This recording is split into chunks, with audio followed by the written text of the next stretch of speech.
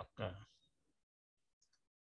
Oke, jadi eh, mari kita mulai.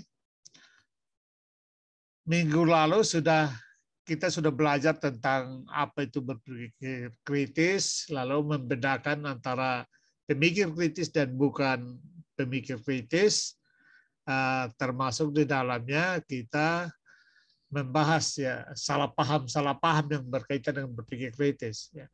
Salah paham ini yang perlu kalian eh, apa namanya eh, kuasai karena memang banyak sekali orang suka ngeyel atau suka apa namanya muter balik logika lalu dianggap itu pemikir kritis ya.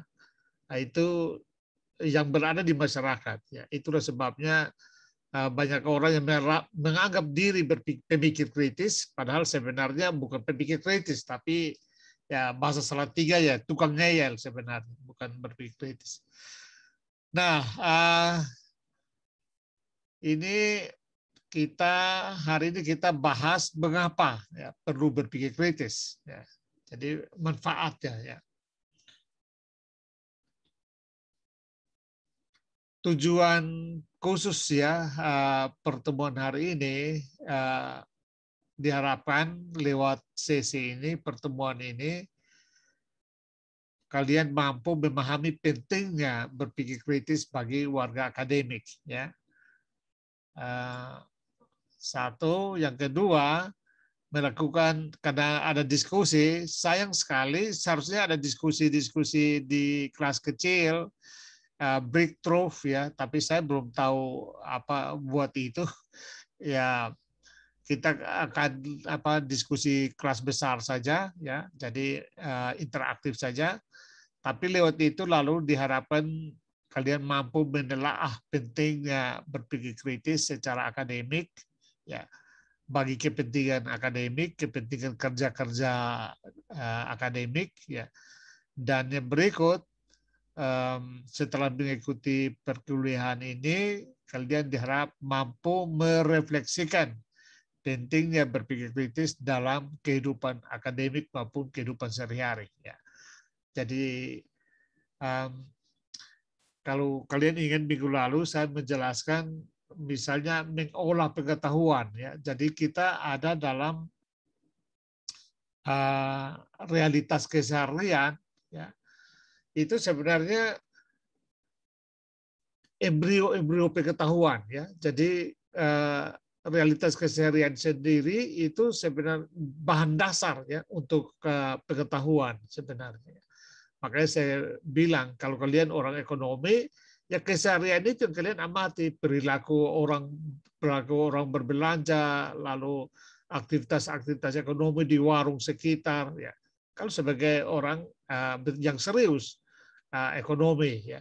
Kalau orang sosial ya dia bisa mengamati apa hubungan antara tetangga jadi interaksi sosial barangkali interaksi antara orang yang berbeda suku atau berbeda agama. Nah, itu juga bagian dari pengamatan pengamatan sebagai seorang sosiologi ya.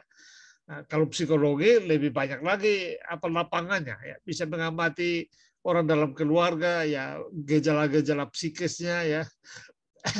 Uh, teman-teman ya itu juga bisa jadi melatih ya apa keilmuan kita ya nah kelemahan kita memang orang Indonesia ada di situ ya. Keseharian kesehariannya itu yang seharusnya uh, sudah menjadi bahan dasar pengetahuan tetapi tidak diolah ya.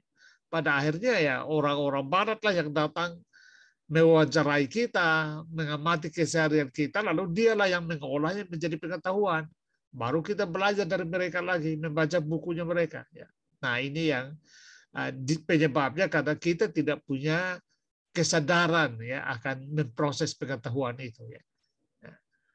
Nah tentu orang-orang apa namanya uh, fisika atau orang-orang astronom ya tiap hari bisa mengamati gerak-gerak planet mengamati apa namanya langit ya kira-kira begitu. Jadi sekali lagi ilmu pengetahuan itu adalah bagian dari keseharian. Yang yang kita butuhkan adalah apa berpikir kritis sehingga kita mendokumentasikan, terbiasa untuk mengamati secara cermat dan mendokumentasikan apa yang kita amati itu.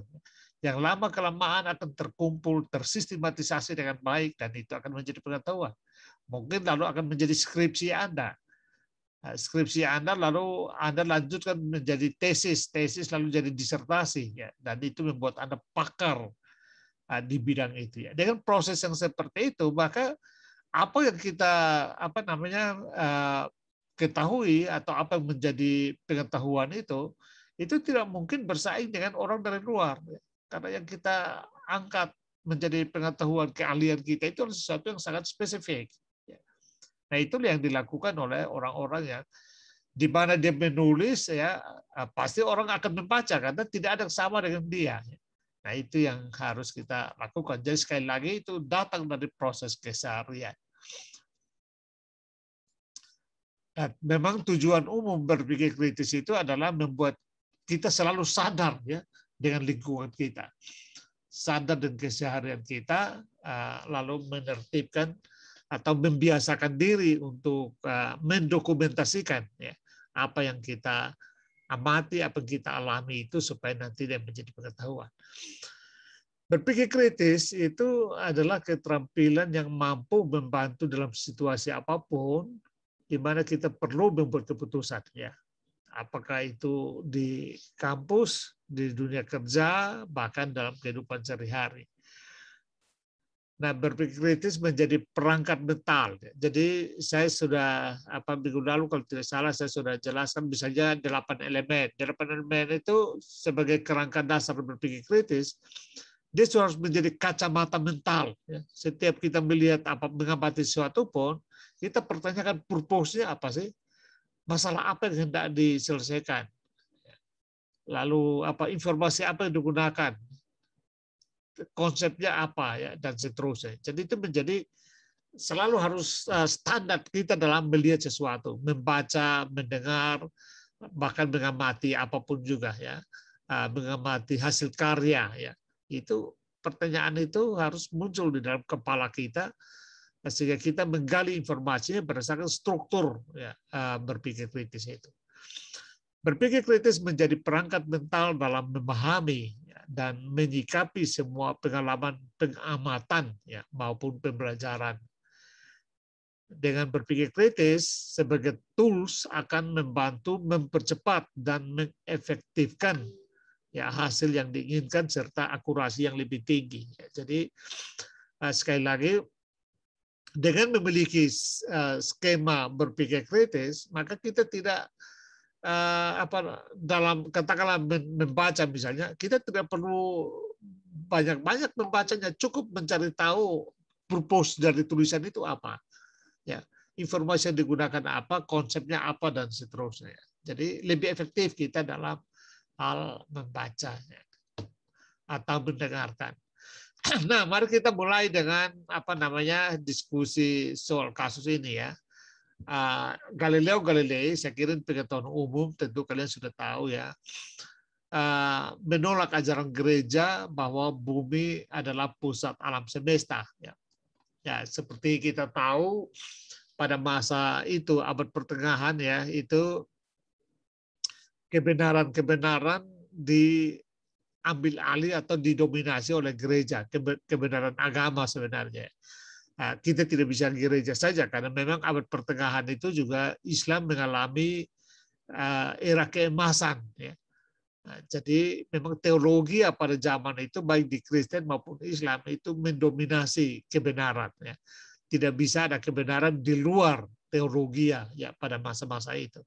Nah, pada masa itu terutama kalau di kalangan gereja yang memang sangat kuat waktu itu, karena Romawi waktu itu menguasai dunia ya, ah, menjadi imperium yang ah, katakanlah super power ya, ah, itu mempercayai atau mengikuti ajaran dari Sokrat, Aristoteles ya dan Ptolemeus bahwa bumi itu menjadi pusat tata surya ya. Jadi matahari dan planet-planet yang lain beredar mengelilingi bumi ya itu yang dipercaya oleh gereja ya. Dan itu menjadi katakanlah ajaran gereja seperti itu ya nah sebenarnya argumen di balik itu adalah uh, karena manusia adalah makhluk istimewa yang diciptakan oleh Tuhan ya. Karena manusia makhluk istimewa yang diciptakan oleh Tuhan, ditempatkan di bumi, maka planet-planet yang lain itu beredar mengelilingi bumi itu untuk menghormati makhluk istimewa itu ya. Kira-kira begitu logikanya ya. Karena uh, wujud ya menghormati sehingga mereka beredar mengelilingi bumi itu menjadi keyakinan yang sangat kuat, dogma yang sangat kuat sekali ya, karena doktrin keagamaan seperti itu, doktrin iman seperti itu, itu sangat kuat sekali. Nah, tiba-tiba Galileo muncul dengan mengajarkan bahwa bukan, bukan bumi pusat tata surya, matahari lah pusat tata surya. Nah, ini menggoncangkan ya. Gereja tentu uh, apa namanya marah ya dengan posisi itu. Sebenarnya Galileo bukan yang baru ya. Sebelumnya sebenarnya uh, Kopernikus sudah dengan logika matematik ya dia sudah mengatakan bahwa uh, pusat tata surya itu matahari bukan bumi ya. Tapi Galileo karena dengan teleskop ya dia menemukan teleskop ya lebih persisi ya. Karena dia mengamatinya langsung ya. Nah, ini apa namanya mendapatkan respons yang keras dari gereja, bahkan gereja meminta Galileo untuk Ah, menarik kembali ajaran sesatnya itu ya. Dianggap ajaran sesat ya. Nah tetapi Galileo tetap ya nggak mau. Tetap uh, berkeras tetap pada pendiriannya bahwa uh, apa namanya matahari lah pusat tata surya dan bukan bumi nah coba kalian uh, apa namanya uh, berpartisipasi untuk menjelaskan ini sikap kritis uh, Galileo. Menurut kalian di mana sikap kritisnya Galileo?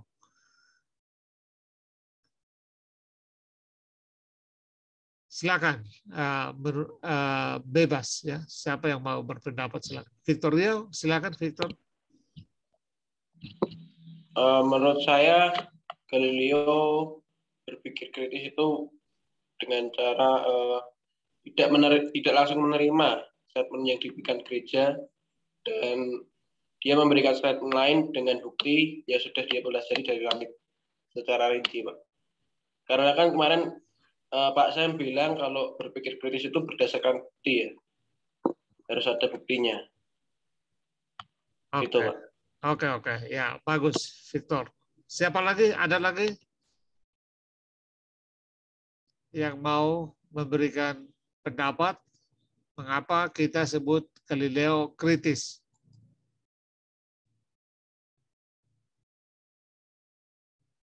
Vika, coba Vika. Vika Deliana.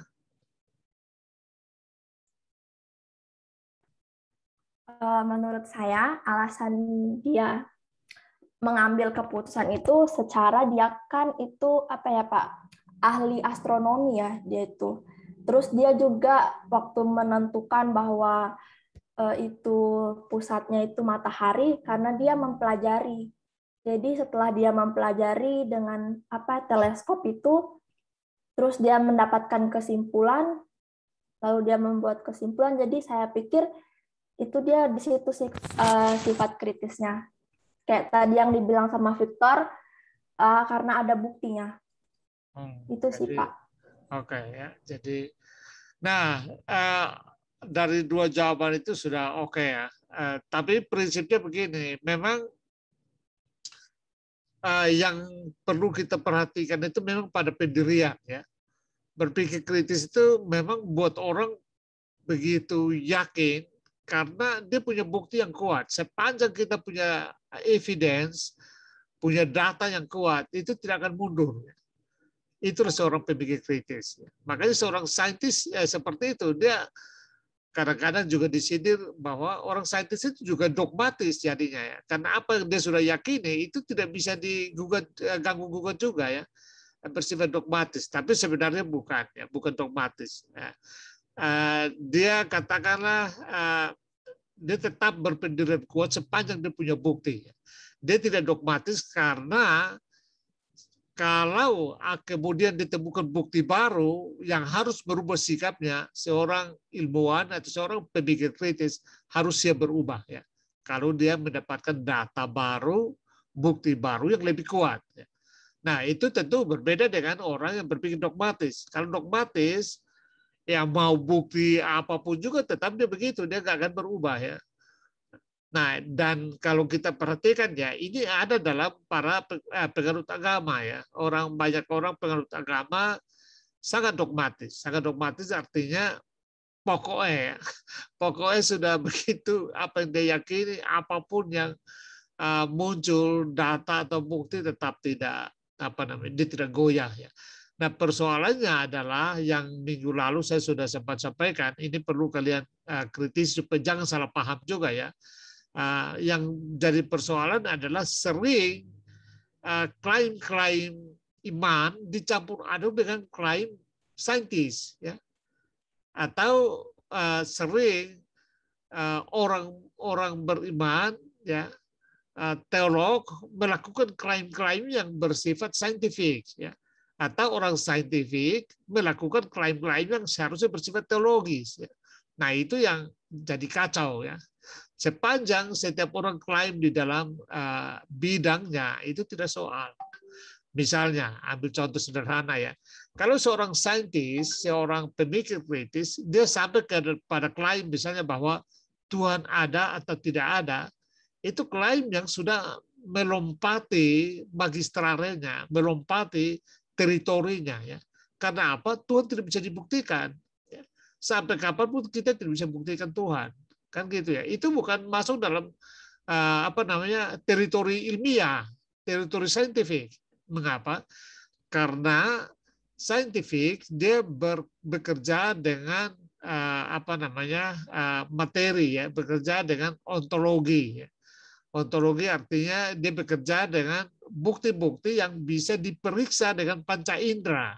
Kan gitu ya, itu sains. Nah, kalau dia mau mengklaim atau membuat kesimpulan yang berkaitan dengan hal-hal yang tidak bisa diobservasi dengan panca indera seperti Tuhan, hantu, malaikat, ya itu bukan bidangnya sains untuk apa namanya membuat kesimpulan itu. Itu namanya lompat pagar namanya melompati otoritas. Tetapi juga sebaliknya ya.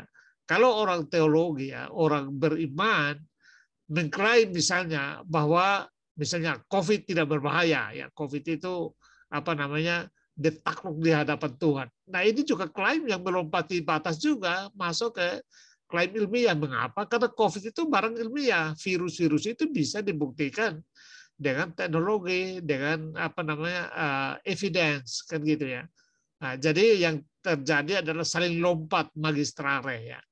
Nah, sepanjang klaim-klaim teologis berada di dalam ruangnya sendiri, juga klaim-klaim uh, apa namanya saintifik berada di ruang sendiri, dia harus tetap kuat, harus kokoh, ya mempertahankan pandangan, karena apa namanya eh, hanya takluk pada bukti-bukti evidence kalau untuk saintis sementara eh, orang iman hanya takluk ya kepada katakanlah ajaran-ajaran keimanannya itu ya yang kalau kita perhatikan sebenarnya dia tidak bisa masuk ke dalam klaim-klaim yang bersifat empirik. Ya.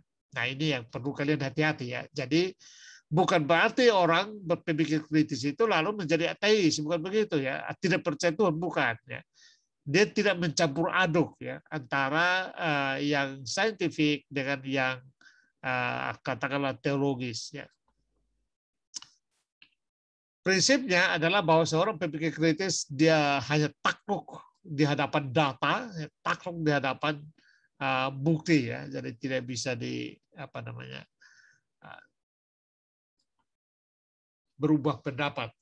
Nah, apakah kalian ada yang sudah menonton video ini cuma satu sekian menit, satu menit lebih ya? Saya berharap ada kalian yang sudah uh, menonton. Apakah ada ada yang sudah sempat nonton apa YouTube ini video ini?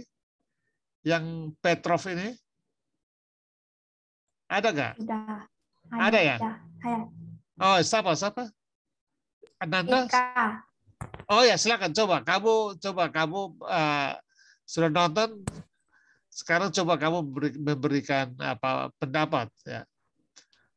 Apakah pemikir kritis? Uh, nah silakan silakan. Menurut saya ini Pak uh, hmm. masih masih bingung ya karena dia ini kan uh, bagiannya itu di apa ya kalau misalnya dia itu harus memberitahu ke atasannya kalau Hmm. misalnya Amerika itu kasih serangan nuklir ke Uni Soviet. Ya. Tapi waktu itu, tapi waktu itu eh, di radarnya itu ada serangan lima atau empat ya, tapi dia nggak berani lapor ke bukan nggak berani ya ragu Hmm. karena dia ragu Hmm. karena eh, apa ya sistemnya itu kayak belum terlalu canggih lah dan Hmm. ternyata keraguannya itu benar jadi eh, nuklirnya itu nggak ada ke Uni Soviet jadi setelah beberapa lama di ditelusuri ternyata itu dari apa ya kayak dari pancaran sinar gitu loh Hmm. saya bacanya yang saya saya nonton videonya terus saya baca juga yang di sumber yang di Kompas. Hmm. Jadi saya pikir itu dia kayak lebih kenal naluri sih Pak. Hmm. Hmm. Ya begitu. Oh, bagus. Siapa nama kamu? Kamu ngomong kok nggak muncul di apa ya di layar? Siapa namamu tadi? Vika. Vika, Vika. Bagus Vika. Vika pengamatan Vika. Nah, Vika, jadi menurut kamu dia termasuk pemikir kritis nggak itu? I- ini yang saya bingung karena Oh, dia itu eh, lebih ke nalurinya. Dia pikir Ya. kayaknya ini hmm. karena dia karena di, di Kompas itu dibilang kalau misalnya Amerika mau serang Uni Soviet dia harus banyak gitu loh nyerang nggak Ya. cuma empat atau lima gitu ya, ya, ya. jadi dia jadi dia prediksi mungkin ini eh, sistemnya salah gitu. Hmm. dan Oke. ternyata itu benar Oke oke, Vika bagus ya. Ada siapa lagi yang membaca supaya kita dapat dua pendapat yang bagi yang bagi yang sudah nonton ya, tidak kalau tidak tidak apa-apa. Apakah siapa lagi yang sudah menonton? Apakah masih ada? Oke, kalau tidak ada tidak apa-apa. Nah, jadi eh, pengamatan Vika itu benar ya, pengamatan Vika jeli betul. Eh, ini yang eh, memang sengaja dimunculkan video ini untuk mengungkapkan atau menjelaskan satu hal ya. Seorang pemikir kritis dia harus eh, bijak dan rasional ya. Jadi dia tidak mudah tertipu oleh eh, apa namanya apa yang kita sebut tadi saya sudah katakan bahwa seorang pemikir kritis harus takluk di hadapan data, di hadapan evidence kan gitu ya. Nah, tetapi dalam kasus ini kelihatannya dia tidak takluk di hadapan bukti kan begitu ya. Karena di monitor itu oh, mungkin bagi yang mereka belum baca perlu diceritakan secara apa utuh supaya bisa paham. Jadi Petrov ini pada tahun eh, mungkin konteksnya lebih luas lagi ya supaya paham perang dingin antara Amerika dan Rusia itu saya masih eh, apa namanya SMP ya itu masih dapat sekali ya itu setiap hari itu dunia ada dalam ancaman perang ya jadi Amerika dengan NATO-nya ya eh, pertahanan Amerika dan sekutunya Eropa Barat dengan eh, apa badan pertahanan NATO sementara um, blok timur ya Rusia, Cina dan apa lain-lainnya itu ya Kuba ya itu dengan Fakta Warsawa ya. Jadi saling mengancam ya. Selama bertahun-tahun itu tiap hari itu dunia seperti ada dalam ancaman perang. Nah, Petrov ini seorang Rusia yang diberikan apa tugas untuk memantau ya, dari monitor kalau ada tanda-tanda serangan rudal dari luar ya maka dia harus menekan tombol untuk apa memberikan serangan langsung ke Amerika atau ke blok barat ya. Jadi tugasnya sangat penting sekali ya. Dia cukup menekan tombolnya dan melepaskan rudal-rudal peluru kendali ya. Nah, seperti itu. Nah, tahun 83 pada suatu malam di monitornya itu muncul uh, apa namanya uh, sinyal uh, sinar yang menunjukkan bahwa ada tanda-tanda serangan ya kira-kira begitu ya ada empat atau lima tanda-tanda serangan ya tetapi dia belum tidak segera menurut SOP dia harusnya langsung ini tekan tombolnya dan menyerang gitu ya. Tapi dia belum itu, ya. dia tidak lakukan, dia berpikir ya, berpikir rasional. Nah ini yang perlu kita ada insting yang perlu juga uh, dipegang oleh seorang pemikir kritis ya. Jadi dia insting dengan membuat kesimpulan logis. Kesimpulan logisnya begini, kalau Amerika, kalau ini benar serangan musuh dari Amerika, maka dia tidak mungkin hanya menyerang dengan melepaskan empat lima peluru kendali ya karena apa? Itu berarti dia memberikan ruang bagi Rusia untuk menyerang lebih parah, lebih gencar kan. Dia hanya lepas 45 saya itu itu berarti ya, ya dia kehilangan kesempatan. Dia mau buat serangan mendadak supaya Rusia langsung lumpuh kok hanya lepas 4 atau 5. Itu akan memberi kesempatan bagi katakanlah Petrov kalau ditekan tombolnya, maka itu hujan kendali akan apa namanya menghentam Eropa Barat dan Amerika pada saat itu. Kan gitu ya.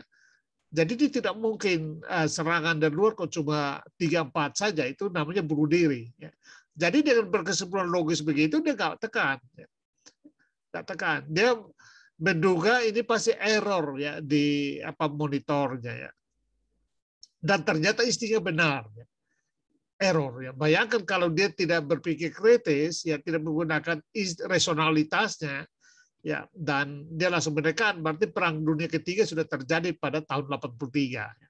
Nah itulah sebabnya nasibnya jadi uh, apa namanya jadi tergantung ya, tergantungnya karena begini, uh, dia berhasil mencegah perang dunia ketiga ya. Tetapi Rusia jadi ini secara SOP dalam militer dia telah melanggar SOP-nya karena tidak menjalankan tugas harusnya dia sudah menyerang gitu. Tetapi memberikan hukuman juga ya tidak mungkin karena dia justru apa namanya eh, katakanlah dalam tanda kutip kecerobohannya itu berhasil mencegah perang dunia ketiga kan gitu ya. Jadi nasibnya di Rusia menjadi tergantung ya tidak tidak diberi penghargaan, tetapi juga tidak diberi hukuman. Ya. Mau diberi hukuman, ya tidak tegak karena yang dilakukan itu benar. Ya. Tetapi memberikan penghargaan itu berarti eh, apa namanya melecehkan aturan militer. Ya.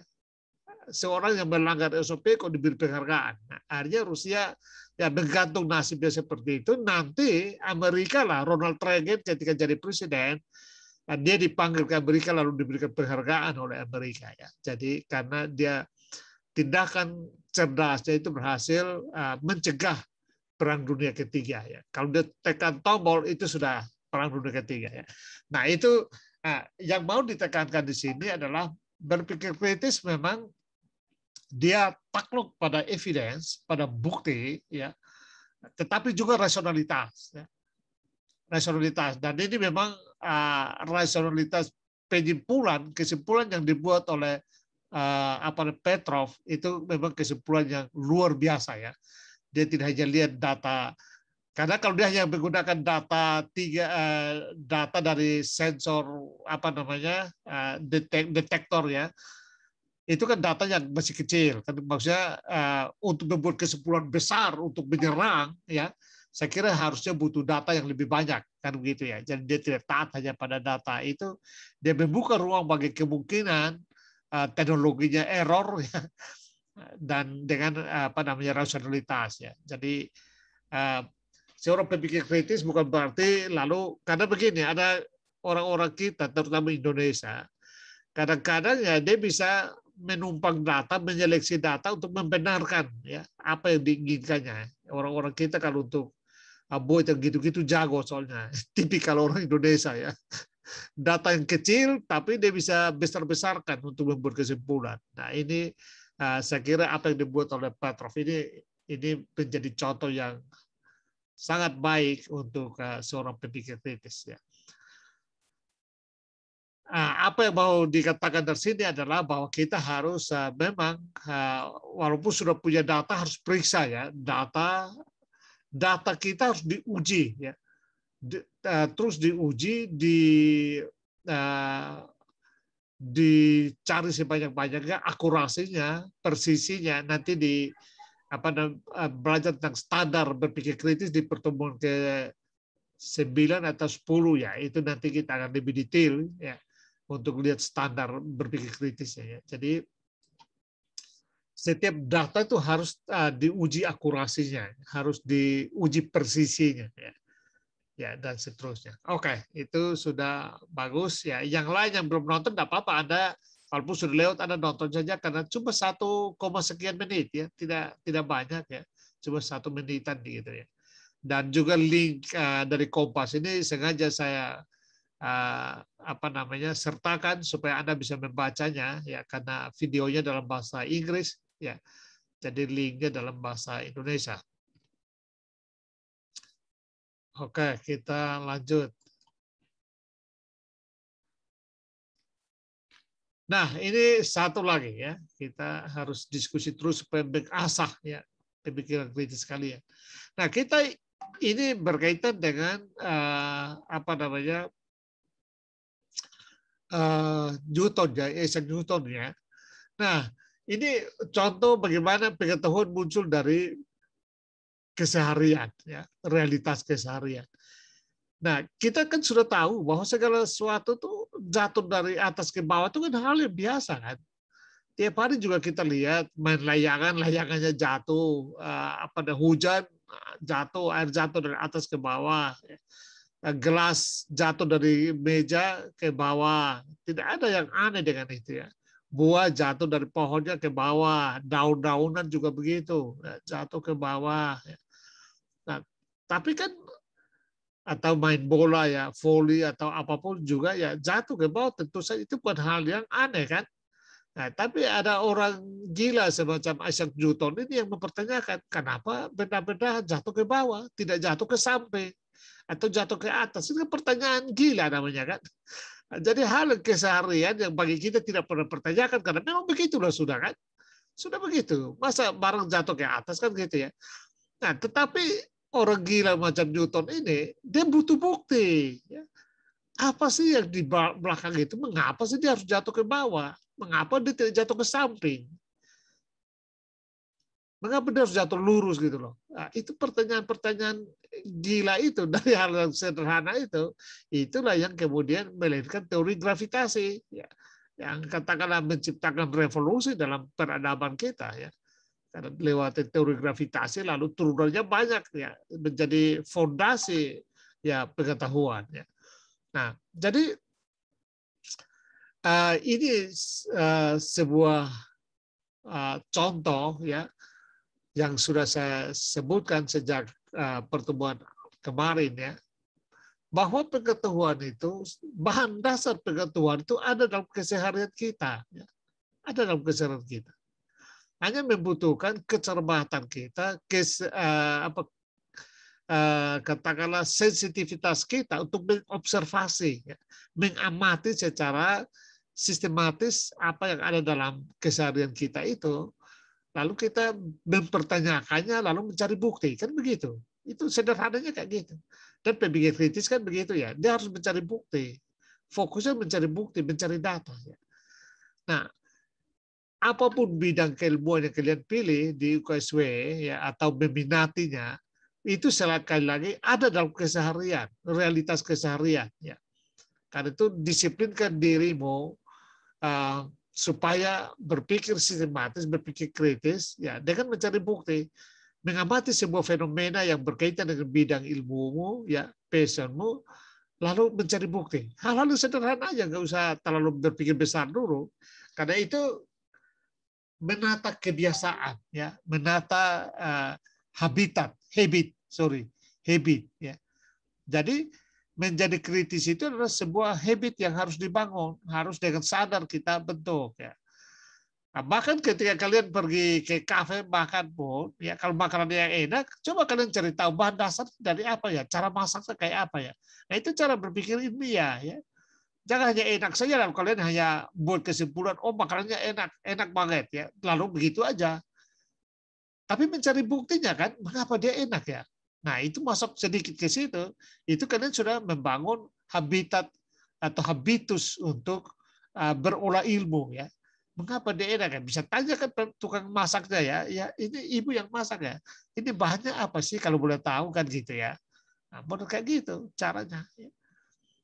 Nah, apalagi kalian ini apa namanya mainkan apa sekarang uh, lagi viral apa tuh kan youtuber kah apa kah ya? Nah itu kan sudah bisa juga jadi bahan olah kontennya kalian kan begitu ya? Nah, atau misalnya bertemu apa saja ya itu bisa diobservasi dengan satu dua pertanyaan supaya kalian bisa dapatkan uh, menggali data yang agak lebih dalam sedikit. Jadi jadikan itu sebagai kesempatan untuk melatih dirimu ya membangun habitatmu, habitusmu, habitmu, ya. habit kebiasaanmu untuk mengolah pengetahuan. Ya. Karena pengetahuan terus diolah. Ya.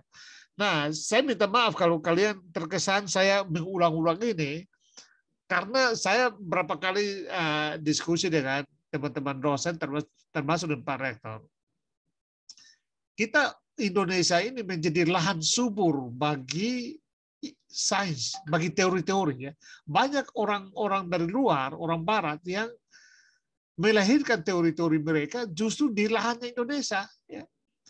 Mereka datang mengamati kita, mereka menulis jadi teori, jadikan buku, lalu kita sendiri orang Indonesia menulis waktu menulis harus merujuk tulisan mereka. Padahal menulis tentang kita, tapi harus merujuk lagi tulisan orang barat. Padahal mereka penelitian paling 3-4 tahun ya, paling lama ya 5-6 tahun mereka mengamati lalu jadi teori. Kita seumur hidup kita ada di situ. Kenapa mereka hanya 3-4 tahun bisa membuat teori, kita yang sejak lahir di situ kita nggak buat, kan gitu ya. Nah itu karena kebiasaan, ya, tidak membangun habitatnya dalam membuat teori, ya, berolah ilmu, ya. Padahal mereka datang kan tanya kita, tanya orang tua kita, orang-orang sekitar kita untuk membangun datanya kan. Nah, dari data yang ada itu lalu mereka uh, membuat abstraksinya untuk menjadi teori. Jadi kita ini hanya menjadi informan aja, kan gitu ya. Menjadi kesian kita nih. Ya. Nah, oleh karena itu uh, saya ingin selalu akan akan mengulang-ulang ini terus biar kalian bosan juga tidak apa-apa. Tapi saya berharap itu uh, menyadarkan kita, ya. Jadi bukan cuma kalian sebenarnya, dengan teman-teman dosen pun kami bicarakan seperti itu ya. Membangun kesadaran bersama untuk kita membangun teori ya. Dengan cara selalu menyadari, berusaha untuk mengobservasi ya apa yang ada di sekitar kita, mempertanyakan ya jadi jangan takut untuk eh, pertanyaannya aneh atau pertanyaannya remeh-temeh, nggak perlu ya. Kalau zaman itu ya, kalau misalnya Isaac Newton itu teman kamu, barangkali kalau pada waktu itu dia mempertanyakan kenapa buah jatuh ke bawah, mungkin kalian akan bilang lu gila, kan gitu ya. Kamu tuh gila. Ya memang mana mana ada barang yang jatuhnya tidak ke bawah kan gitu ya. Dan pertanyaan yang sederhana gila itulah yang Ah, melahirkan teori besar. Ya. Jadi jangan takut untuk mempertanyakan sesuatu. Nah, mari kita lihat eh, apa namanya bagaimana manfaat berpikir kritis di kelas atau di kampus ya. Bagi yang punya kopi, mari minum kopi ya. Saya sambil minum soalnya. Jadi kalau kuliah pagi kita dari begini bisa santai ya. Kalian bisa sambil minum atau bisa apa namanya uh, snack atau apa saja tidak masalah. Yang penting jangan saling cerita ya, sambil cerita cerita dengan orang lain karena itu berarti tidak ikut kuliah. Nah kita lihat berpikir kritis bagaimana di kelas. Tuntutan proses belajar di nah, perguruan tinggi itu fokus pada pemikiran tingkat tinggi. Saya kira kalian dari SMA sudah akrab dengan konsep ini higher order thinking ya. Higher order thinking ini uh, apa namanya sebenarnya uh, dari Bloom ya. Taksonomi Bloom uh, tapi kemudian banyak digunakan oleh uh, Dikti ya untuk uh, mendorong supaya pembelajaran-pembelajaran itu menciptakan high order thinking ya. Itu prinsipnya adalah sebenarnya pengertiannya luas tapi secara sederhana berkaitan dengan evaluasi ide dan informasi yang aktif dan cerdas. Itu yang maksudnya mempertanyakan data, ya, mempertanyakan ya evidence, membangun evidence, ya, mensistematisasi untuk menyimpulkan, ya. Jadi berpikir kritis posisinya di situ. Nah, dalam kondisi ini berpikir kritis memainkan peran penting di seluruh kurikulum ya, perguruan tinggi. Nah, saya ingin katakan bahwa uh, menjadikan berpikir kritis sebagai mata kuliah dasar umum atau mata kuliah dasar universitas, saya tahu saya ya mungkin saya salah ya, tetapi sepanjang yang saya cari tahu observasi karena saya juga peneliti pusat studi pemikiran kritis itu UKSW yang pertama, UKSW yang sedang lakukan. Belum ada ustaz yang menjadikan berpikir kritis sebagai MDU. Ya. Bahwa ada ya diajarkan di prodi tertentu, di fakultas tertentu, itu pasti ada. Ya. Tetapi menjadikan dia sebagai MDU, saya kira baru UKSW. Ya. Kalau sejak 2012 itu diajarkan di FEB. Ya. FEB yang duluan dengan mata kuliah berpikir kritis ini ya. Dan saya termasuk pengajarnya. Ah, baru angkatan ini, angkatan kalian inilah dijadikan sebagai mata kuliah dasar umum yang artinya wajib untuk semua mahasiswa UKSW. Jadi kalian beruntung sebenarnya. Ya. Berpikir kritis mahasiswa dapat mempelajari berbagai keterampilan yang dapat meningkatkan kinerja dan hasil belajar. Ya, sekali lagi, sebagai tools berpikir kritis membantu kalian untuk lebih efektif dalam belajar, ya, dalam membaca maupun dalam mendengarkan, karena kalian sudah punya kerangka, ya, punya kerangka yang membantu kalian untuk belajar dengan lebih cepat. Tidak usah terlalu dengar semua omongan, cukup tangkap apa purpose-nya, ya. apa konsep yang sedang dibahas, apa informasi yang digunakan untuk mensupport uh, apa namanya pembahasan itu masalah apa yang sedang di, eh, hendak dibahas di situ dan hal-hal seperti itu ya. Apa kesimpulannya ya. Nah itu menjadi cara pandang supaya eh, membantu kita untuk cepat mensistematisasi pengetahuan dari yang kita baca maupun kita dengar. Nah keterampilan berpikir kritis ini termasuk memahami argumen dan keyakinan orang lain mengevaluasi argumen dan keyakinan tersebut secara kritis mempertahankan argumen dan keyakinan yang didukung dengan baik. Ya. Nah, tentu saya eh, harus tekankan sedikit di sini. Ketika kalian nanti mulai eh, diskusi kelompok, ya, mudah-mudahan situasinya lancar sehingga sesuai dengan nota rektor mulai 18 Oktober kita sudah bisa kuliah tatap muka ya luring uh, belum sebuah kelas tetapi sudah mulai dengan kuliah tatap muka ya itu nanti diskusi-diskusi kelompok itu kan kalian berdebat ya. Nah, ketika berdebat itu harus ingat tadi ya argumen-argumennya harus dibukti eh, didukung data. Tidak boleh ngeyel ya kalau kalian berdebat eh, walaupun diskusi kelompok kecil ya. Latihlah dirimu jangan ngeyel, ya. jangan karang-karang, jangan tipu-tipu ya. Harus uh, pada data. Kalau memang data kamu kalah dari temanmu, evidence-mu kalah dari temanmu, kamu harus apa dengan rendah hati menerima pandangan orang lain ya. ya. jadi ini yang penting dalam berpikir kritis ya seperti itu ya. Nah, biasanya secara awam itu dianggap malah itu apa namanya, wah cepat mengalah itu berarti tidak kritis. Nah, itu salah pandang ya. Jadi jangan lihat uh, para politisi berdebat di TV itu lalu kalian bilang oh itu contoh pemikir kritis itu. Dan biasanya digunakan Rocky Gerung itu pemikir kritis bagus itu. Ya sekali lagi saya tekankan itu Rocky Gerung bukan tipikal pemikir kritis ya. Itu bukan berpikir kritis. Yang berikut sebagai tools berpikir kritis membantu mahasiswa melakukan aktivitas-aktivitas kuliah dengan efektif, ya. baik dalam hal mendengarkan, membaca, menulis maupun berbicara. Saya kira sudah ulang-ulang saya tekankan tentang ini ya. Nah, ini saya ingin menunjukkan apa namanya eh, apa yang kami temukan ya dan penelitian-penelitian lain yang menunjukkan misalnya penelitian yang dilakukan oleh Richard uh, Paul dengan Linda Elder uh, bukunya saya sudah apa namanya uh, sudah sampaikan buku rujukan utama ya nanti buku yang lain saya akan upload juga bagi kalian yang tertarik membaca akan memperkaya ya. Jadi penelitian dari Richard Paul dan Linda Elder di 66 perguruan tinggi di Amerika ya 28 negeri dan 38 usaha swasta itu menunjukkan bahwa meskipun para dosen mengakui berpikir kritis itu sebagai yang paling utama dalam pembelajaran, ternyata hanya 19% saja yang bisa menjelaskan apa yang dilakukan agar uh, meningkatkan berpikir kritis di mahasiswa. Jadi prinsipnya begini, kalian tentu tahu ya, dan hampir semua banyak orang yang omong tentang kuliah perguruan tinggi itu semua tahu bahwa orang akademisi, orang akademik, mahasiswa, dosen ya itu pasti pemikir kritis kan gitu ya. Namanya orang kuliahan itu pasti kritis, harusnya kritis. Mahasiswa harusnya kritis kan gitu ya. Itu seperti keyakinan umum gitu ya.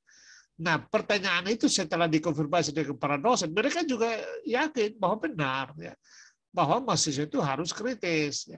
Pembelajaran itu harus membuat mahasiswa menjadi kritis kan gitu ya. Tetapi pertanyaan lanjutnya dari Richard Paul dan Lydia Elder adalah tanya kepada dosen. Oke, okay, kalau betul Anda yakin bahwa pembelajaran itu harus membuat mahasiswa kritis, maka pertanyaannya adalah apa yang Anda lakukan supaya mahasiswa Anda menjadi pemikir kritis. Nah, pertanyaan itu lalu dari apa hanya 19% saja yang bisa menjelaskan apa yang mereka lakukan untuk mahasiswa mereka menjadi pemikir kritis. Yang lainnya nggak bisa jelaskan. Artinya apa yang bisa kita simpulkan dari sini? Artinya bahwa uh, asumsi atau uh, keyakinan bahwa mahasiswa seharusnya berpikir kritis itu keyakinan yang belum punya bukti, ya tidak pernah di, dan dibuktikan, diterima begitu saja ya. Itulah sebabnya kalau mahasiswa buat apa-apa di TV masyarakat kami ngomong, lo mahasiswa begitu kok nggak kritis kan gitu ya. Bahasa-bahasa begitu karena selalu dikaitkan dengan kritis. Tetapi apa yang dilakukan oleh universitas untuk membuat mahasiswa kritis. Nah, itu yang dari penelitian ini menunjukkan bahwa ah, ternyata katakanlah universitas-universitas perguruan tinggi perguruan tinggi bahkan di Amerika pun belum berbuat uh, banyak untuk membuat mahasiswa menjadi pemikir kritis. Richard Paul dan Linda Adler juga menemukan bahwa 89% dosen setuju pemikir kritis itu menjadi prioritas dalam pengajaran. Ya. Nah, dari situ 77% bayangkan ya, itu tidak bisa menjelaskan bagaimana mereka lakukan. Ya. Jadi ini eh, sebuah ironi sebenarnya. Ya. Bahwa warga akademik dia diharapkan menjadi pemikir kritis, tetapi ternyata tidak ada proses sengaja by design untuk membuat warga akademik menjadi pemikir kritis. Nah itulah sebabnya langkah UKSW itu dalam rangka itu ya, untuk menjawab uh, apa namanya hasil-hasil temuan yang menyedihkan itu. Ya. Nah kami di pusat studi pemikiran kritis ya CCTD itu apa namanya Center for Critical Thinking Development UKSW Ya, itu juga uh, terutama saya di kelas FEB 2018 ya.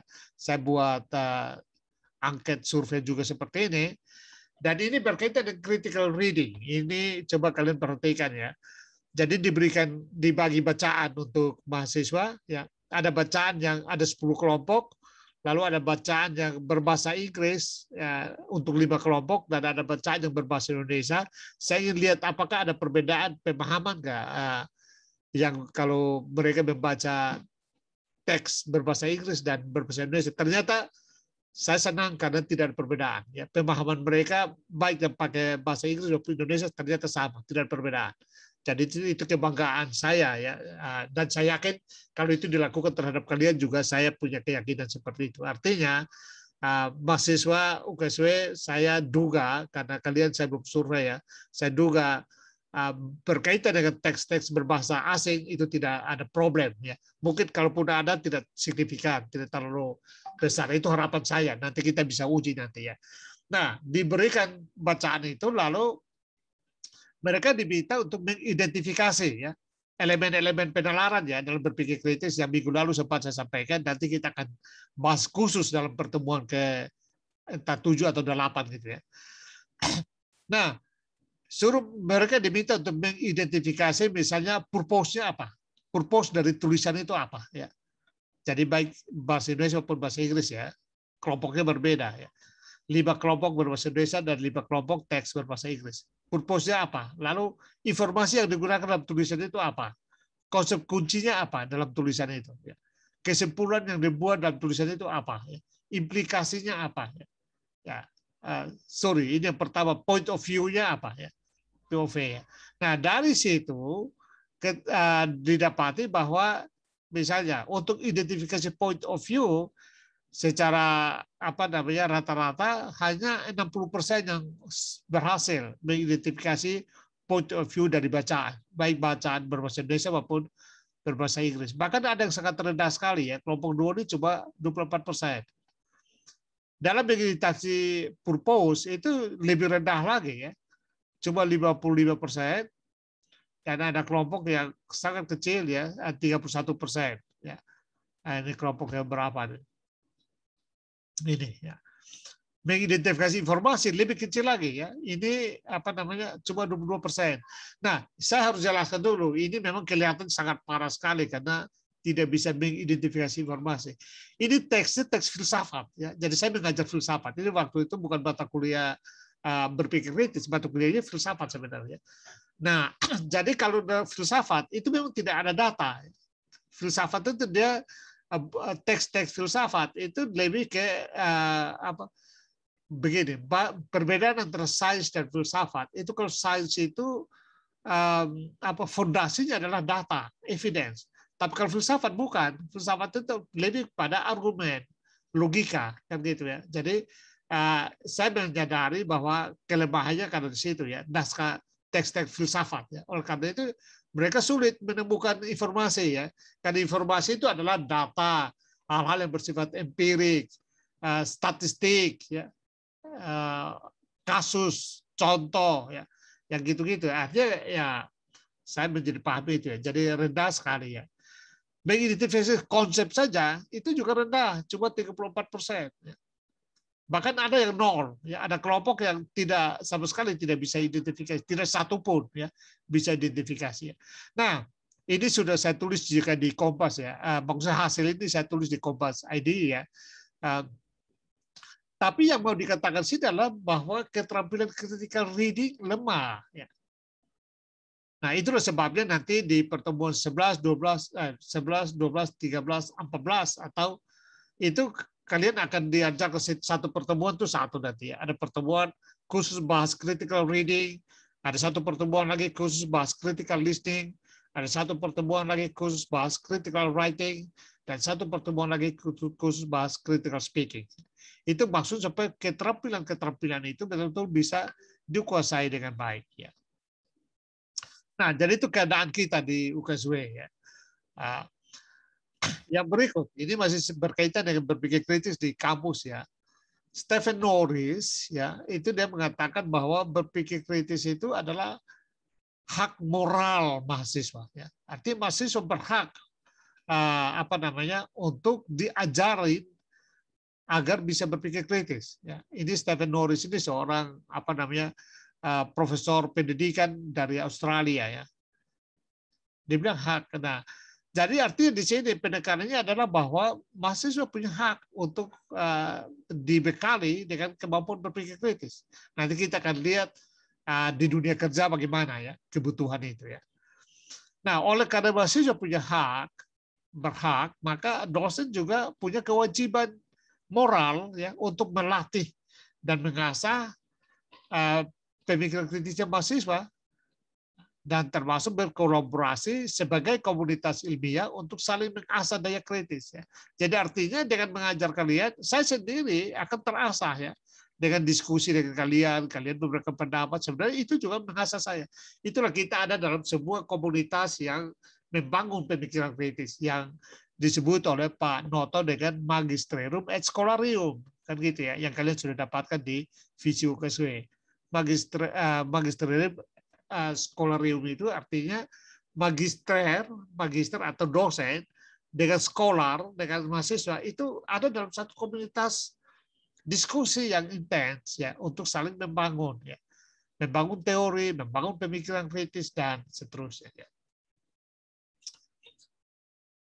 Nah, Pak Rektor pertama kita, Pak Noto, ya sebut ya Magisterium Escolarium dan apa namanya itu menjadi pegangan kita ya. Jadi sejak awal UKSU berdiri itu sudah berada di dalam semangat berpikir kritis sebenarnya.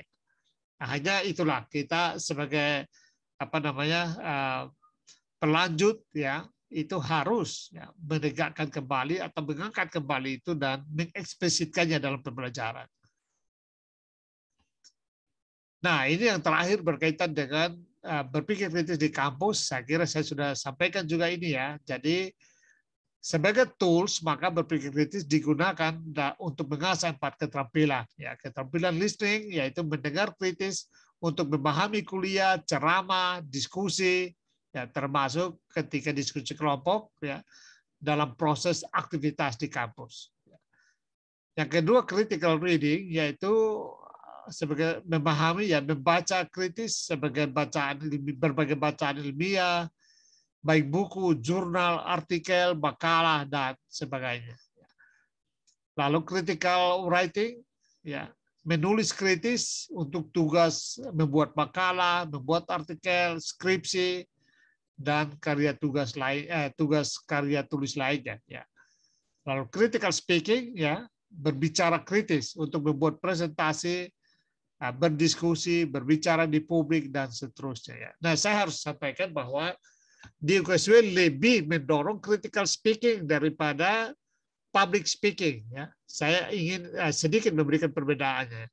Public speaking, kalau Anda mengikuti kegiatan public speaking, saya yakin di antara kalian ada yang sudah ikut, yang dipoles di situ adalah teknik berbicara, teknik uh, berbicara sedemikian rupa sehingga bisa menarik minat pendengar, kan gitu ya. Uh, bagaimana saatnya apa namanya suara direndahkan, suara ditinggikan, bagaimana cara kita tampil ya. Jadi kalau public speaking itu dia lebih kepada penampilan luar. Nah, itu yang saya tidak setuju dengan public speaking ya. Kita lebih menekankan critical speaking. Artinya apa? Yang ditekankan di situ adalah isinya, substansinya, substansi bicara, isi bicaranya.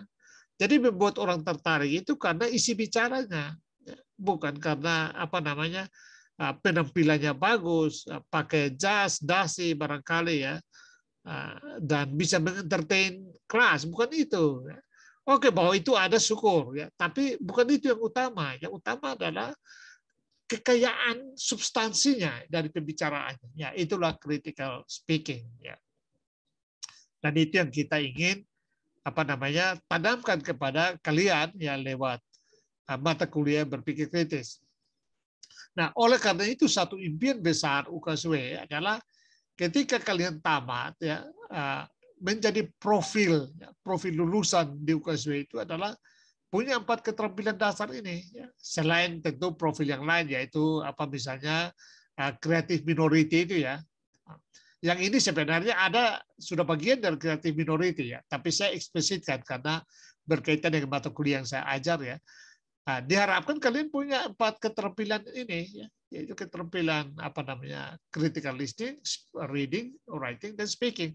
Kalau punya empat keterampilan ini, ya, saya yakin kalian nanti di mana pun juga, ya bekerja atau di mana pun, kalian akan menjadi sangat efektif ya, dan sangat uh, maju. Ya. Oke, sekarang kita lihat bagaimana berpikir kritis di dunia kerja. Nah ini penting sekali ya, supaya kalian bisa lihat manfaatnya belajar berpikir kritis ya. Banyak survei menunjukkan bahwa kurang dari setengah lulusan perguruan tinggi saat ini dapat berharap bekerja di bidang studi utama mereka ya. Kami sedang apa eh, mendesain sebuah survei untuk alumni alumni UKSW ya. Tetapi dugaan kami sama memperkuat uh, hasil survei ini bahwa kebanyakan orang bekerja tidak di bidang ilmu yang waktu dia S1. Ya. Dia bekerja di bidang yang berbeda. Silakan kalian amati ya dan mungkin kalian akan menemukan paling tidak ya bukti-bukti yang memperkuat kesimpulan ini ya. Bahwa kebanyakan orang tidak bekerja sesuai dengan bidang waktu dia S1. Itu artinya apa? Artinya bukan bidang studi yang Anda ambil itu yang akan membawa Anda ke dunia kerja. Sesuatu yang lain. Ya, dan bukti-bukti itu menunjukkan bahwa kemampuan yang soft skill ya tentu berkaitan berpikir kritis. Nah, berkaitan dengan ada juga yang berkaitan dengan kemampuan untuk uh, fleksibel dalam bergaul misalnya ya, dalam uh, problem solving misalnya. Dan itu itu semua uh, atribut-atribut berpikir kritis. Ya. Nah, statistik di atas yang tadi saya sebutkan tadi ya survei itu ya, itu berbicara banyak tentang mengubah realitas tempat kerja. Tempat kerja itu dunia kerja itu berubah sangat cepat. Kalau Anda hanya hanya ahli di satu bidang saja, bidang yang tunggal, itu sangat berbahaya, sangat rentan ya. Karena perubahan di tempat kerja itu cepat sekali. Ya. Sekarang orang lebih banyak outsourcing. Mengapa outsourcing? Karena misalnya kalau sekarang dia butuh seorang uh, apa namanya uh, ahli, katakanlah misalnya hukum, perusahaan butuh ahli hukum. Ya dia hanya sewa saya hire seorang ahli hukum, datang benahi, ya siapkan aturan-aturannya, siapkan uh, misalnya MOU-nya, nah selesai kontrak tiga bulan atau enam bulan, ya selesai kebutuhannya sudah berubah lagi, bukan cuma di situ lagi.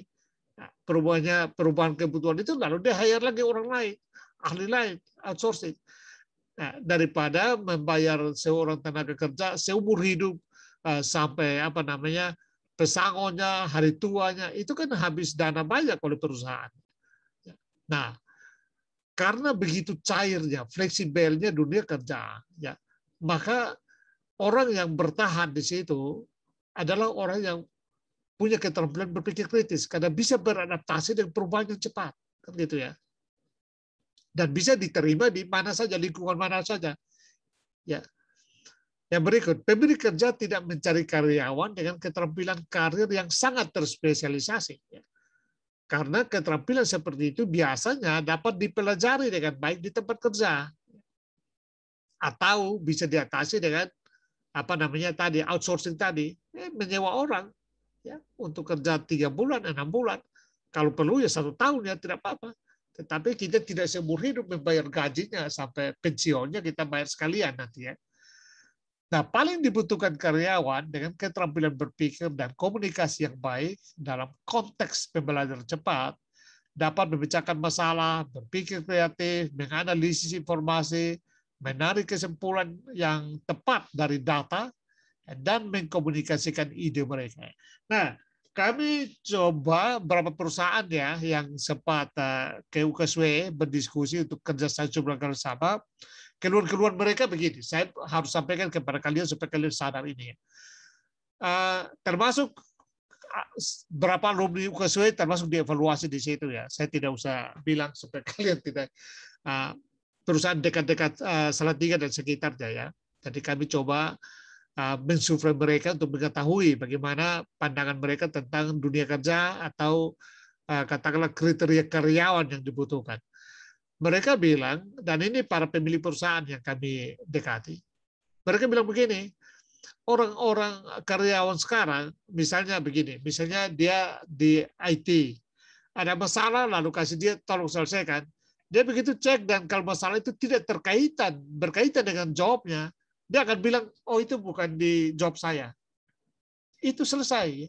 Nah ini jelas tanda bukan seorang pemikir kritis. Karena para apa pemilik perusahaan itu mereka sangat uh, dongkol, sangat jengkel dengan karyawan yang model kayak gini ya. Karena dia pikir dia begitu tahu bahwa itu bukan masalah dia, dia langsung nggak mau urus. Nah, seorang pemikir kritis dia harus cari tahu sampai akar masalahnya. Kalau memang bukan di jobmu, cerita sampai di ini ada akarnya di mana. Lalu lapor ke bos bukan? Oh ini ternyata ada di bidang ini, ada di apa namanya uh, divisi ini misalnya. Ya. Masalahnya kayak gini-gini. Lapor ke bosmu. Itu baru seorang pemikir kritis. Dia cari data, cari bukti, sampai lacak sampai akar masalah. Bukan dia lihat bahwa bukan masalahnya dia di jobnya dia lalu dia bilang sorry bos, itu bukan di di tempat saya, bukan masalahnya bukan di divisi saya. Nah, ini bukan seorang pemikir kritis namanya ya. Perusahaan-perusahaan seperti yang dibilang oleh dan saya juga baca beberapa hasil penelitian termasuk yang ditemukan oleh Richard Paul dan teman-temannya ya. Itu menunjukkan hal yang sama ya. Para COE ya, uh, CEO maksudnya uh, lebih suka orang yang diberi tanggung jawab sampai ke akar-akarnya ya, mencari sampai bukti jadi tidak apa namanya mudah menyerahkan ya sebuah tugas yang tidak tuntas ya, digantung begitu saja. Nah itu bukan ciri pemikir kritis. Nah, saya berharap kalian pahami itu sehingga kalau kalian temukan masalah, cari sampai akar-akarnya, sampai temukan akar-akarnya. Kalaupun itu bukan bagian dari tugas, tidak masalah, tetapi kalian sudah menemukan sebuah solusi. Sampaikan kepada mereka yang seharusnya bertanggung jawab atas masalah itu, tapi kalian menjelaskan masalahnya dengan baik. Dan bahkan ketika itu kalian lakukan, sebenarnya kalian telah memperkaya pengetahuan kalian sebenarnya kan begitu. Dan itu sebenarnya ciri seorang pemimpin seperti itu ya. Dia mencari selalu mencari sampai akar-akar masalahnya dan dia mengesuai banyak hal akhirnya ya. Dan sehingga dengan demikian maka dia akan menjadi kepercayaan di kantor. Yang berikut ini juga hasil penelitian ya yang berkaitan dengan apa namanya uh, dunia kerja.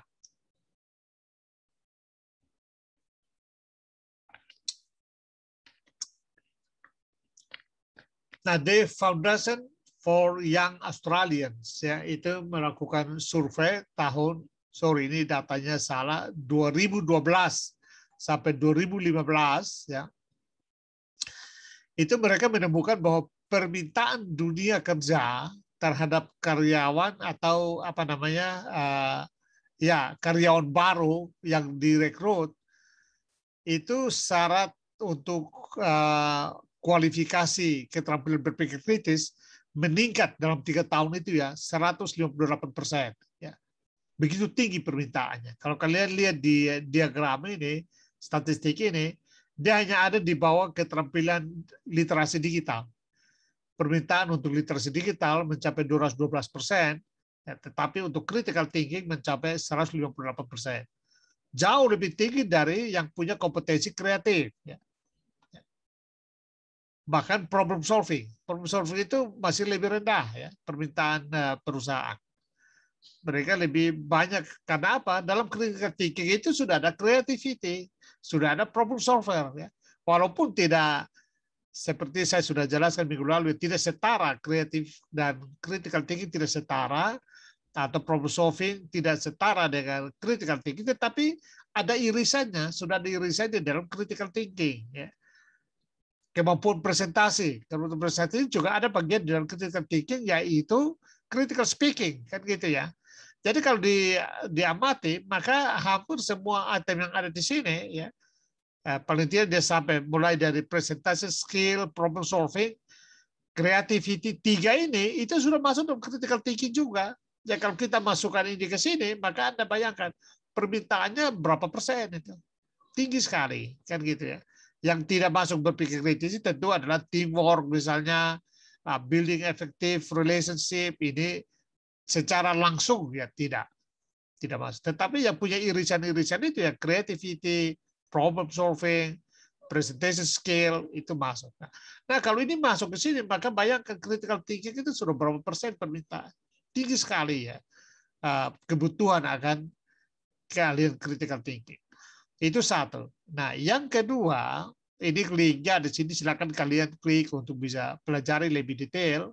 Ya pada tahun 2006 itu uh, di survei uh, 400 perusahaan terkemuka di Amerika um, itu pertanyaannya begini kalau anda menerima uh, merekrut karyawan baru itu apa namanya uh, kompetensi atau keterampilan apa yang anda akan prioritaskan dalam penerimaan karyawan baru 92,1 persen critical thinking. Ya. Bayangkan 92,1 persen. Ya. Nah, kalau Anda lihat di dalam uh, katakanlah syarat-syarat lowongan kerja, memang kan tidak ada situ bahwa harus terampil berpikir kritis kan begitu ya. Tidak secara formal tidak dirumuskan di situ ya.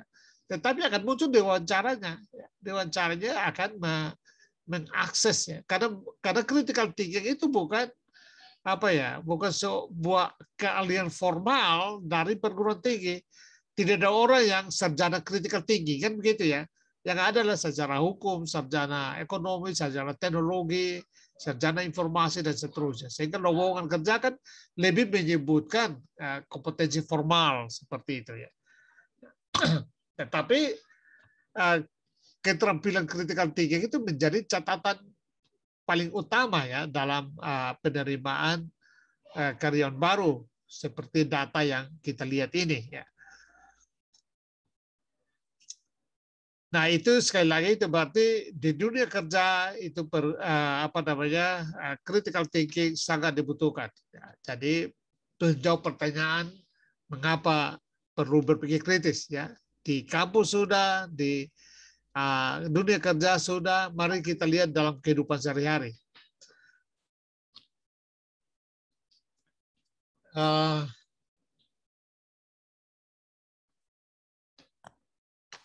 berpikir kritis atau mungkin tidak usah eh, sebelum masuk ke sini saya buka dulu kesempatan kalau ada yang mau bertanya atau memberikan tanggapan saya berikan dulu supaya jangan numpuk ya kelihatannya sudah banyak barangkali ya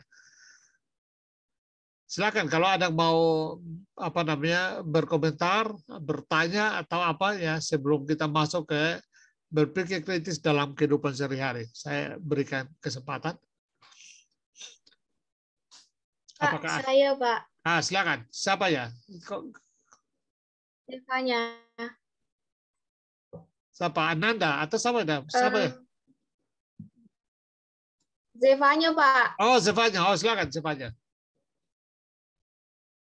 Jadi kan Pak, um, berpikir kritis itu kan juga harus diperlukan bukti dan beberapa pengetahuan kita kan. Nah Pak, gimana kalau misalnya orang itu dia tuh kayak profesor, terus misalnya pengetahuannya tuh banyak banget Pak. Apakah hmm. mungkin Pak dia hmm. tuh bisa juga tidak berpikir kritis? Hmm. Sedangkan dia kan banyak pengetahuan. Kalau misalnya bisa, kenapa Pak? Karena kan dia banyak pengetahuan, harusnya dia bisa dong berpikir kritis. Bagus ya. Pertanyaan bagus, depannya bagus. Nah, Tadi saya sudah menyinggung sedikit uh, menyinggung tentang hasil penelitian dari Richard Paul dan Linda Elder ya, yang di 66 perusahaan tadi ya. Di antara mereka itu ada sembilan profesor. Ya, ini supaya langsung uh, menjawab pertanyaan Zevanya tadi. Ada sembilan profesor. Dari sembilan profesor itu ternyata hanya dua yang masuk dalam kategori berpikir kritis. Ya, uh, tujuhnya tidak. Ya.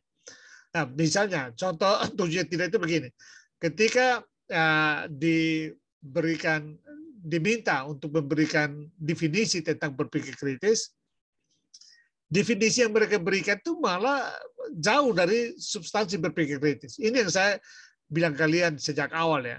Karena banyak orang salah paham tentang berpikir kritis. Ya.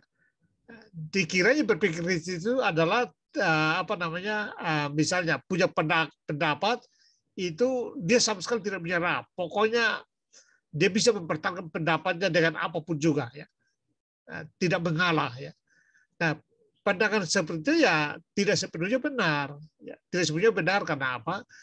Uh, inti berpikir kritis adalah dia mempertahankan pendapat itu berdasarkan data dan bukti. Nah sementara orang yang jago debat dalam pengertian kita orang awam itu adalah apa pun yang terjadi dia tidak akan menyerah kan gitu ya. walaupun datanya uh, apa sudah di sudah bisa dibuktikan datanya sudah tidak valid lagi ada data terbaru yang disampaikan oleh lawan debat barangkali tetap dia ngotot tidak mau terima kan gitu nah itu tidak masuk dalam kategori berpikir kritis atau seperti yang saya sekali lagi angkat contoh Rocky Gerung ya. Nah, banyak sekali masyarakat Indonesia kalau kita lihat dalam percakapan-percakapan Eh, di luar dan di medsos itu dianggap berpikir kritis. Padahal berdasarkan definisi yang kita gunakan ini tidak masuk dalam kategori berpikir kritis. Anda bayangkan Rocky Gerung itu bahkan disebut profesor kan karena dianggap uh, seorang apa namanya ahli filsafat dan pemikir kritis. Kemarin waktu mahasiswa-mahasiswa UI eh, sorry BEM ya ketua BEM ya menggalang demonstrasi endgame untuk minta Jokowi mundur, ya itu juga mengatasnamakan berpikir kritis. Ya.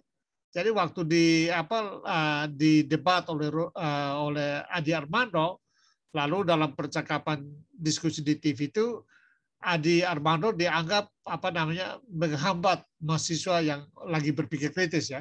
Justru mahasiswa kritis mengkritik pemerintah kok dihambat oleh uh, katakanlah Adi Armando yang juga dosen UI ya dan uh, disebut para buser Jokowi ya gitu ya. Nah, itu disebut berpikir kritis ya. Padahal waktu diskusi misalnya di TV One lalu dia ditanya apa data yang digunakan untuk uh, apa meminta Jokowi turun. Dianggap Jokowi gagal itu datanya mana?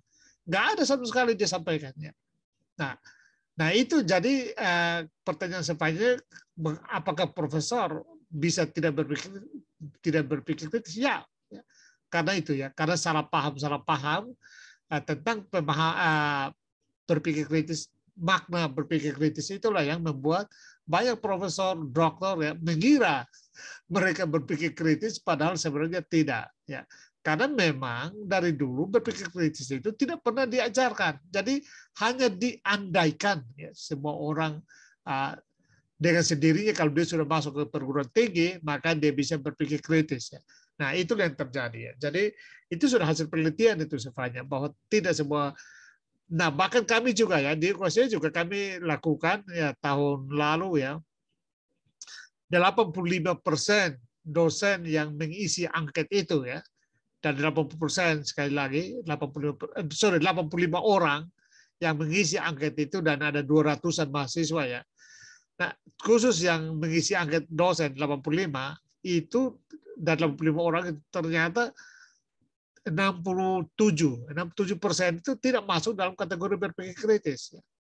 Nah, itu dilihat indikatornya dari definisi yang digunakan, lalu eh, apa namanya indikator-indikator yang digunakan, lalu eh, metode yang digunakan dalam pembelajaran di kelas. Nah, itu jadi dari eh, apa namanya dari indikator-indikator itu lalu kami buat uh, semacam kesimpulan. Nah itu memang survei yang apa namanya tidak dirancang matang untuk itu, hanya sekedar mengambil data mental saja agar supaya mendapatkan gambaran tentang kondisi berpikir kritis di UKSW. Ya. Jadi uh, tidak bukan penelitiannya serius, tetapi kami memang targetnya adalah sekedar mendapatkan gambaran supaya kami bisa tahu apa yang bisa kami persiapkan untuk mengembangkan pemikiran kritis di UKSW.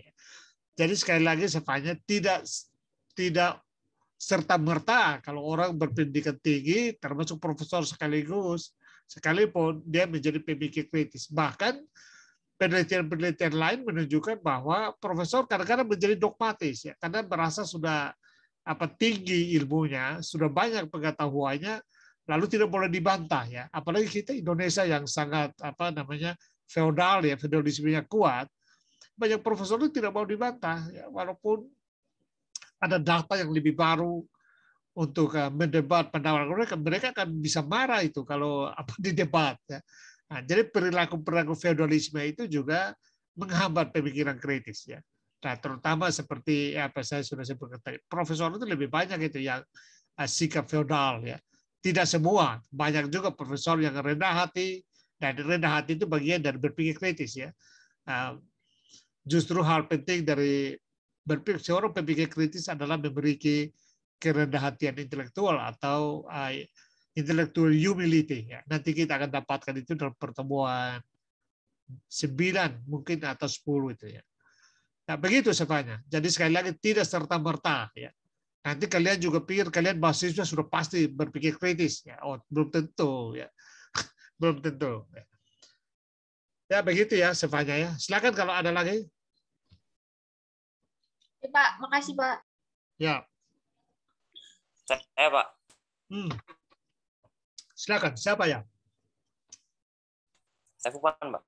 Ya. Uh, ini kan kita sudah banyak membahas tentang berpikir kritis. Betul. Nah mungkin dari teman-teman mempunyai uh, definisi yang berbeda mengenai berpikir kritis. Kalau dari saya kan kemarin saya memiliki definisi bahwa berpikir kritis itu adalah cara kita menggunakan akal budi pikiran kita untuk mengolah suatu fakta.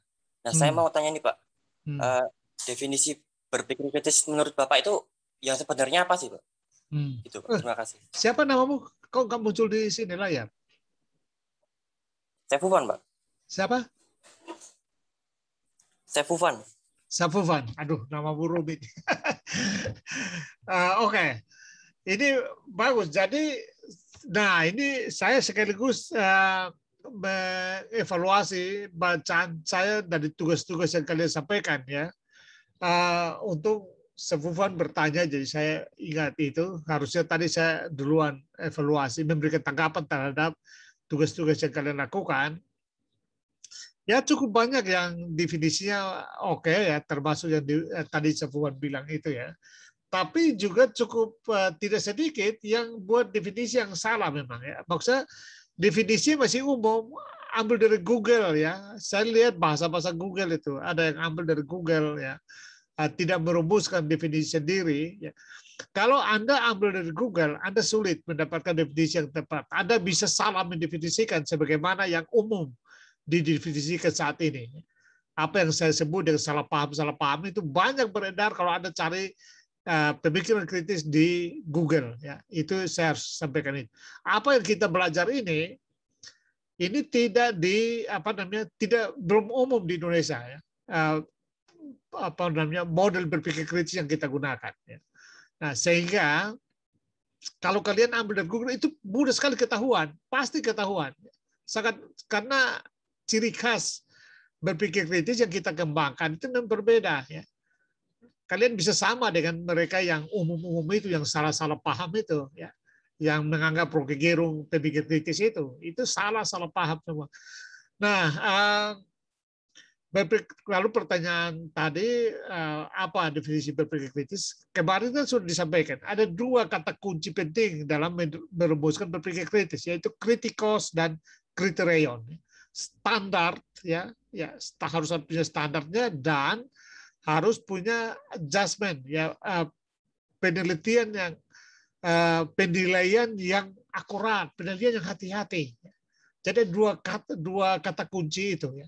Artinya definisi kita itu harus bisa di diuji, harus bisa harus objektif, harus bisa diverifikasi oleh uh, orang lain kan gitu ya. Jadi um, oke okay, tadi misalnya siapa Sufifan tadi ya itu uh, apa namanya penilaian apa berdasarkan apa berdasarkan data tadi uh, evaluasi yang apa berdasarkan fakta tadi Sufifan coba ulang tadi yang definisi saya ya Pak? Ya, definisi kamu tadi. Cara kita menggunakan akal budi atau pikiran kita untuk mengolah suatu fakta. Ya, saya kira bisa ya. Eh, cara kita menggunakan akal budi untuk mengolah fakta itu bisa, tetapi juga bisa menimbulkan eh, pemahaman yang eh, apa namanya berbeda ya. Jadi kalau cara kita menggunakan akal budi dalam mengeluarkan fakta itu benar, tetapi akal budi yang dimaksud untuk mengeluarkan fakta itu harus punya standarnya gitu ya. Jadi bukan akal budi itu menjadi akal budi subjektif kita, akal budi kita yang kita pakai untuk mengolah fakta itu harus bisa diperiksa oleh orang lain, memungkinkan untuk diperiksa oleh orang lain karena itu harus punya standar. Ya, standarnya apa? Standar akal budi atau rasio sebenarnya ya untuk mengolah fakta itu adalah yang tadi ya, eh, yang sebelumnya sudah saya sampaikan ada tiga ya. Jadi pertama elemen-elemen berpikir kritis, lalu yang kedua standar, dan yang ketiga kebajikan intelektual. Elemennya yang sudah saya bahas minggu lalu ya. Jadi ada purpose-nya, ada informasinya, ada question-nya, ada asumsinya, ada point of view-nya, ada kesimpulannya, ada implikasinya. Itu ya. Jadi katakanlah ambil contoh ya kita pakai definisi yang tadi ya cara kita apa akal budi untuk mengelola fakta. Misalnya kita menemukan katakanlah misalnya uh, fakta tentang uh, apa ya kita ambil salah satu COVID. Misalnya fakta tentang penanganan COVID-19 di Indonesia ya. Kita bisa Indonesia bisa salah tiga bisa UKSW misalnya ya. Tapi misalnya kita ambil uh, cara pengolahan uh, COVID. Oke, kita bikin fokusnya di UKSW saja, di UKSW, COVID-19 di UKSW. Ya. Apa purpose-nya? Purpose dari uh, pengambil keputusan, katakanlah pimpinan di UKSW untuk uh, berkaitan dengan penanganan COVID. Ya. Tentu purpose-nya supaya uh, warga UKSW bisa terhindar dari COVID kan, begitu ya. Purpose itu. Pertanyaan apa yang hendak dijawab oleh para pimpinan? Ya supaya warga UKSW tidak tertular atau tidak banyak yang kena COVID sehingga kuliah bisa uh, tidak terganggu ya proses belajar mengajar tidak terganggu misalnya ya. Lalu informasi apa yang digunakan? Kalau konsep, pertanyaan konsep, konsep tentu konsepnya sudah COVID-19. Itu konsep artinya sesuatu yang bisa didefinisikan. Ya. Nah, lalu uh, apa namanya informasi apa yang digunakan? Informasi artinya bukti-bukti data yang digunakan ya. Nah, itu yang digunakan UKSW misalnya ada tim Satgas ya. Ada uh, apa namanya biomolekuler, laboratorium biomolekuler yang telah dibuat kan gitu ya. Ada bantuan-bantuan untuk mahasiswa dan um, waktu awal Covid tahun lalu itu bahkan uh, mahasiswa di kos-kosan itu dibawakan mereka makan vitamin ya didistribusi oleh Satgas ya. Nah, itu namanya informasi. Nanti itu dilacak sampai ke kesimpulan implikasinya apa?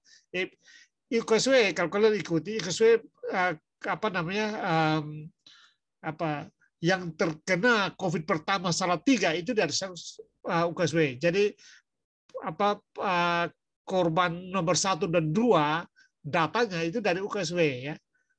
Uh, karena apa satu dosen dari Amerika lalu dia bawa itu jadi kasus pertama itu di dan pertama dan kedua makanya UKSW langsung bertindak sehingga akhirnya bisa apa mengendalikan ya. Jadi itu periksa fakta dari akal budi. Akal budi itu harus punya standar dan standarnya adalah uh, yang tadi ya ada delapan elemen lalu ada sepuluh standar yang direkatkan pada elemen itu dan ada satu lagi yang disebut dengan kebajikan intelektual yaitu ada humility-nya, ada autonominya yang nanti kita dapatkan sendiri dalam pertemuan uh, antara 7 sampai 10 ya. Jadi itu yang dimaksud. Harus betul akal budi untuk mengolah fakta betul, tapi akal budi itu harus punya standar. Jadi setiap orang bisa menggunakan standar yang sama dalam mengolah data ya. Nah, itu harus dipahami seperti itu. Sebab tidak jangan tadi saya bilang bisa salah dipahami itu adalah begini. Kalau setiap orang merasa dia harus punya akal budi yang mandiri, subjektif dalam mengolah data, maka tidak akan mencapai pemikiran kritis. Ya. Pemikiran kritis tidak boleh subjektif dia harus bisa diperiksa ya. Itulah sebabnya akal budi yang tadi dimaksudkan oleh Sufivan atau apa namanya tadi, ya itu harus uh, punya standar baku sehingga setiap orang bisa melakukan dengan cara yang sama untuk mencapai kesimpulan yang sama. Ya. Ya. Itu yang dimaksud. Ya. Jadi definisi kamu sudah oke, okay, ya, tetapi harus uh, hati-hati ya supaya tidak salah dipahami seolah-olah setiap orang punya akal budi yang sendiri-sendiri yang spesifik untuk mengelola data. Karena itu sampai pada kesimpulan yang ah, berbeda-beda. Oh, tidak bisa begitu. Harus ada standar. Ya. Sehingga tidak bisa punya kesimpulan yang berbeda. Datanya sama, kalau kesimpulan berbeda itu hanya karena perbedaan perspektif, ya. perbedaan cara ah, apa perspektif keilmuan yang digunakan untuk mengolah data. Ya. Tetapi tidak bisa apa ah, satu bilang ya dan satu bilang tidak itu tidak mungkin. Ya misalnya dengan cara apa katakanlah kembali ke pengolahan uh, COVID-19 di UKSW menggunakan data yang sama lalu ternyata dengan akal budi uh, yang masing-masing orang lalu sampai sampai pada kesimpulan yang berbeda itu tidak mungkin. Itu berarti datanya kalau ada kesimpulannya berbeda berbeda dalam pengertian ber, bertentangan itu pasti ada yang missing ya dalam mendapatkan uh, katakanlah informasi atau data. Itu harus diperiksa lagi untuk dipastikan datanya lengkap. Ya itu cara caranya begitu ya. Saya kira mudah-mudahan bisa menjawab itu. Silakan kalau ada lagi. Terima kasih, Pak. Ya, saya kira itu bagus ya. Pertanyaan kalian apa membuat kita menjadi lebih clear ya.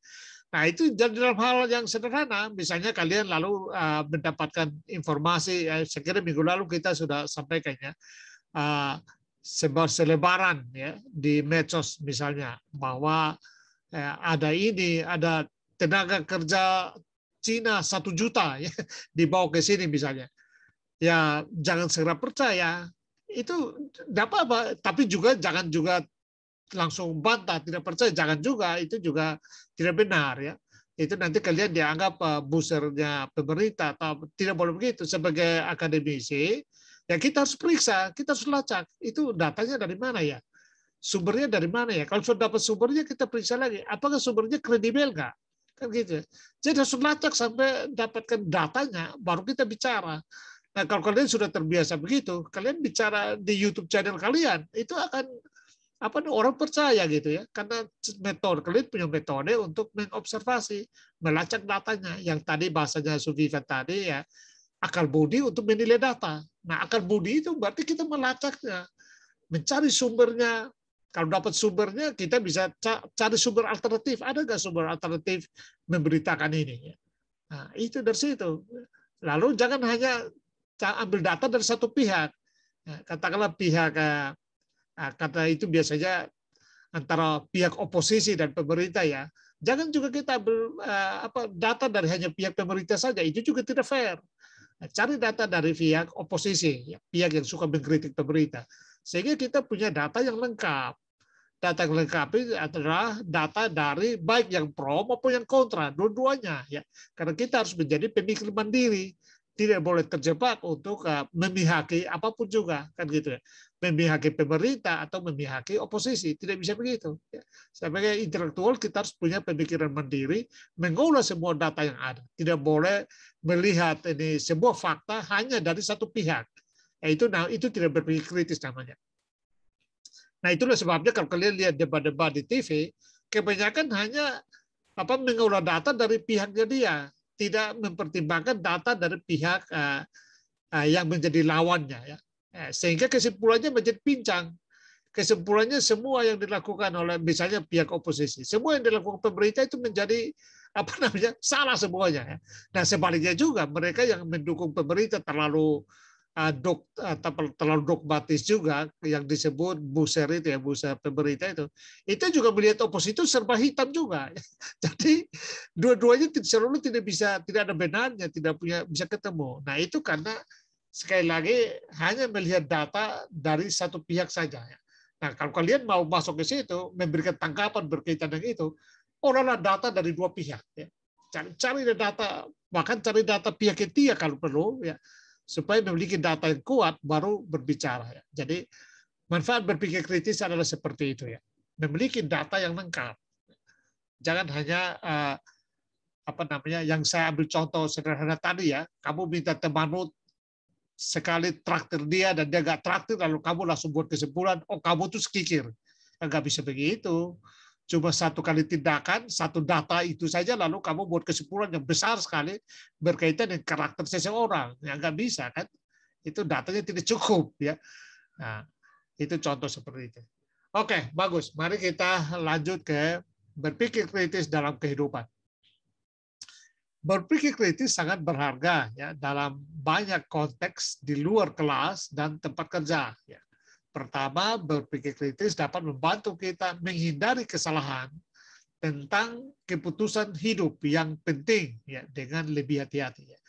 Berpikir kritis membantu kalian untuk buat keputusan apa aja ya, keputusan memilih pacar, keputusan memilih teman, keputusan itu berpikir kritis membantu ya banyak orang yang apa namanya sangat tidak kritis ya. Saya harus sampaikan karena kalian ada dalam masa-masa itu ya.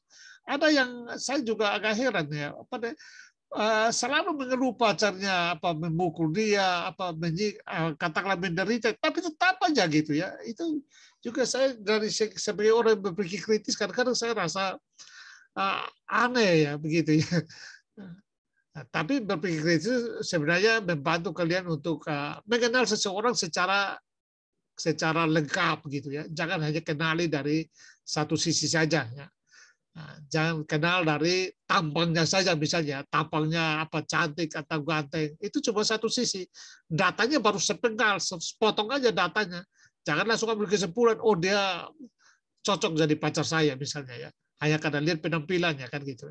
Harus lihat dari segala hal ya dari apa namanya eh, kesehariannya dari apa supaya betul memenuhi syarat tentu tidak ada sempurna tentu saja ya tetapi paling tidak ya nah, masuklah di dalam apa namanya kriteria kalian untuk uh, baik itu ya yang kedua berpikir kritis memainkan peran penting dalam mempromosikan proses berjalannya demokrasi ya, lahirnya berpikir kritis memang berkaitan demokrasi.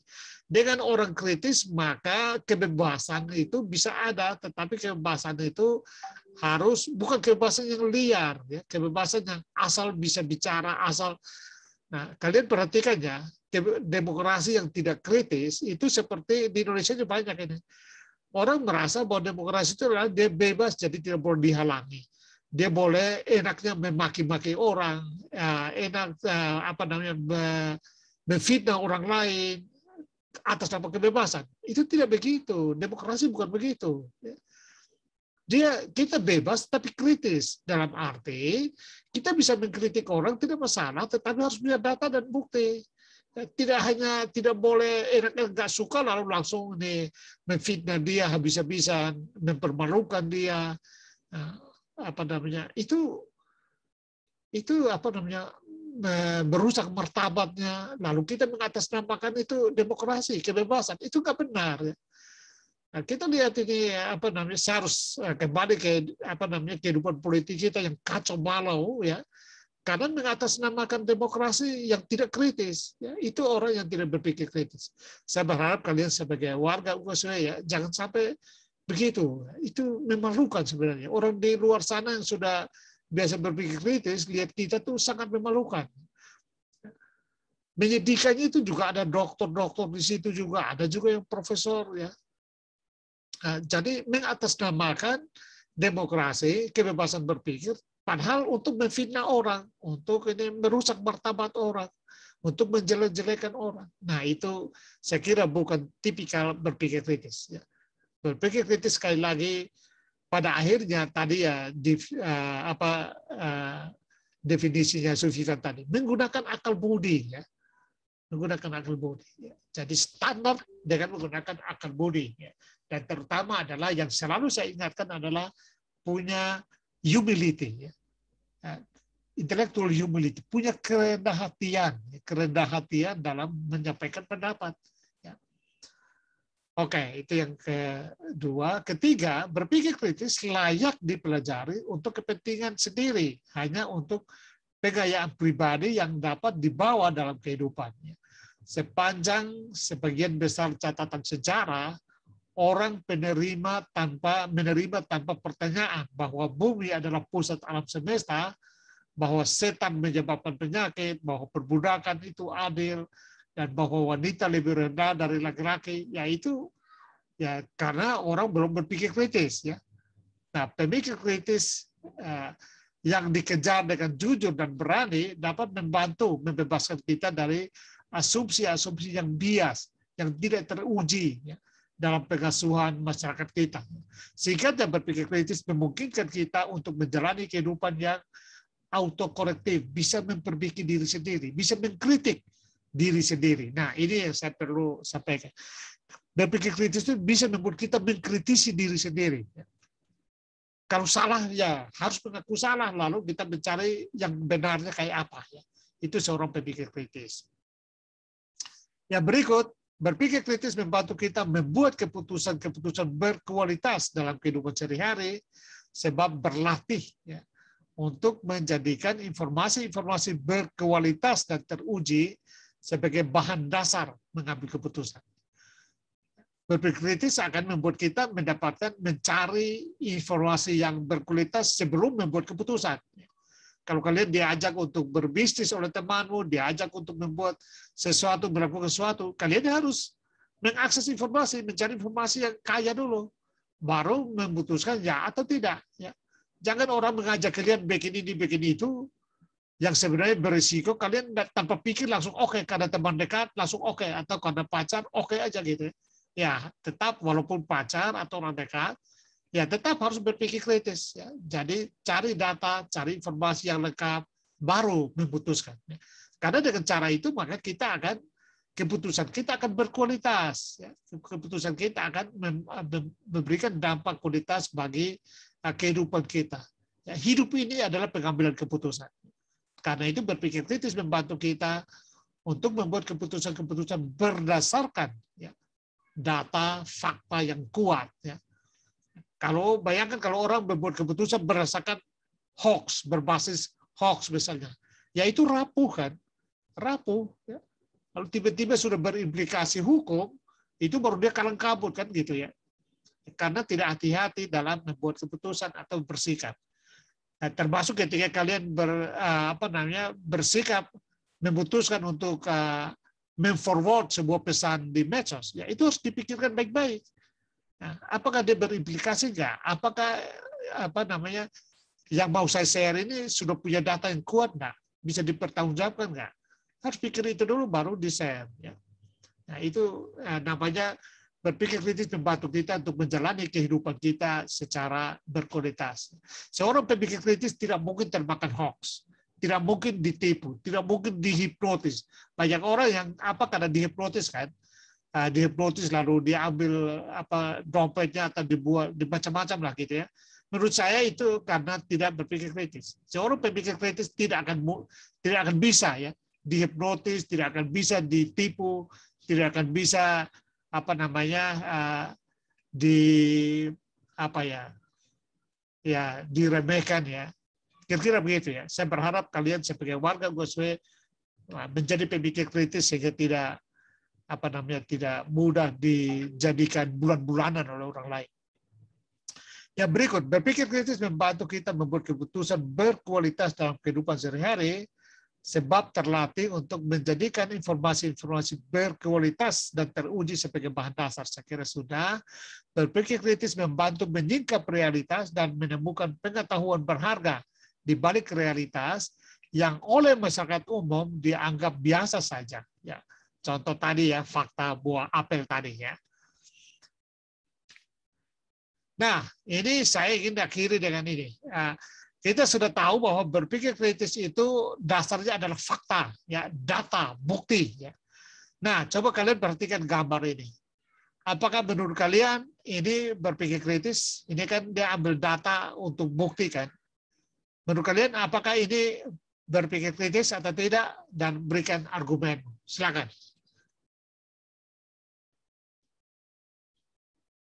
Siapa yang mau berpendapat? Silakan. Apakah ini termasuk berpikir kritis? Tindakan kritis, silakan. Menurut saya sih enggak, Pak. Ah, alasanmu, argumenmu? Um, karena dia hanya melakukan itu demi sosial media. Hmm. Dia melakukan itu hanya untuk uh, memvalidasi dirinya bahwa dia itu membantu orang. Hmm. Padahal Padahal dia sebenarnya hanya melakukan itu. Uh, padahal sebenarnya um, kebanyakan ya Pak, setahu saya hmm. orang-orang yang kasih duit ke yang membutuhkan, biasanya mereka minta balik duitnya itu. Habis dikasih lima ambil balik. Nah, tapi kamu hati-hati karena pandanganmu gitu. ini kan sama, sama kamu Raisa Raya sama Mas Erlino. Michelle ya, uh, Anastasia, Pak. Oh, Anastasia. Anastasia. Anastasia. Iya, Anastasia. Oke. Okay. Anastasia, pernyataanmu itu butuh bukti. Misalnya begini, kamu bilang nah, banyak yang apa kasih untuk apa minta kembali barangkali ya. Itu juga pertanyaan itu bisa bisa apa namanya dianggap tuduhan gitu loh tanpa bukti gitu loh. Jadi seluruh kamu bicara tidak ada faktanya gitu. Nah itu gimana? Kamu mau berargumen dengan itu gimana, Anastasia? kamu bilang banyak um, yang apa karena, namanya biasanya memberikan lalu nanti mereka mengambil kembali itu kamu itu pernyataan itu bisa dianggap opini bukan fakta gitu loh. Nah, gimana menurut kamu gimana?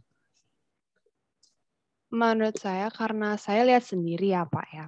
Kebanyakan hmm. di Bali karena saya tinggal di Bali, oh, kebanyakan okay. di Bali itu terutama di di Kuta. Hmm. Uh, sayangnya di Kuta sekarang tambah banyak anak jalanan. Uh. Itu salah satu yang bisa saya kasih. Uh, banyak sekali, sudah mulai banyak sekali yang memberikan. Sayangnya setelah, uh, jadi jalan itu ada pengkolan gitu ya Pak ya. Hmm. Pengkolan begitu, uh, lampu merah. Hmm. Ada lampu merah sebelum pengkolan. Di hmm. pengkolan tersebut ternyata orang yang sama memberikan duit meminta balik duit tersebut dan sayangnya saya melihat sendiri ya jadi hmm. saya bukannya bukannya uh, beropini atau apa karena hmm. saya melihat sendiri dengan mata saya sendiri. Hmm. Ternyata dia meminta kembali duit yang dia sudah berikan. Yang pastinya saya bilang banyak dengan artian pasti bukan hanya dia saja yang melakukan hal seperti itu. Hmm. Gitu. Okay, mungkin itu... bukan uh, mayoritas, mungkin ya. beberapa. Iya, kalau mungkin beberapa, itu, tapi pasti banyak. Nah, itu juga pernyataanmu itu juga tidak pasti kan begitu ya. Jadi banyak itu berapa, lalu kamu bilang beberapa tapi pasti banyak. Nah itu kan pernyataan pernyataannya tidak clear gitu kan. Nah, jadi sebenarnya dalam berpikir ilmiah Anastasia, kamu bilang saja saya sudah saya sudah pernah dapatkan misalnya satu atau dua yang begitu ya. Dan cukup sampai ke situ. Kamu nggak boleh buat kesimpulan bahwa banyak karena banyak itu butuh angka ya. Nah, dalam berpikir kritis itu butuh angka, tidak bisa apa bilang kata-kata banyak, mayoritas itu sebenarnya kata-kata kosong ya, dalam berpikir ilmiah harus sebutkan jumlah misalnya 90 persen. Nah kalau 90 persen itu harus ada survei yang jelas kan gitu ya. Nah, tapi kalau apa namanya kalau amati, kamu bilang saja, oke okay, saya pernah amati dapatkan kasusnya bahwa ada yang uh, di Kute uh, mereka berikan lalu ambil medsosnya setelah itu minta kembali yang diberikan itu ya. Nah, itu cukup di situ ya. Jadi harus uh, memberikan bukti ya apa yang kita amati ya jangan lebih dari itu ya kira-kira begitu tapi bagus nah satu lagi ada saja ini terakhir untuk kamu, maksudnya supaya clear ya dari dari kamu supaya clear kasusnya. Nanti setelah itu yang lain lagi. Ada saja satu lagi. Kamu kan lihat gambar ini ya. Kesimpulan kamu melampaui gambar ini. Jadi uh, sampai ke dia berikan nanti ambil kembali dan macam Ini coba kamu jelaskan saja gambar ini. Uh, lalu kamu apa apa memberikan argumen mengapa kamu bilang ini tidak kritis. Jadi dari gambar ini aja.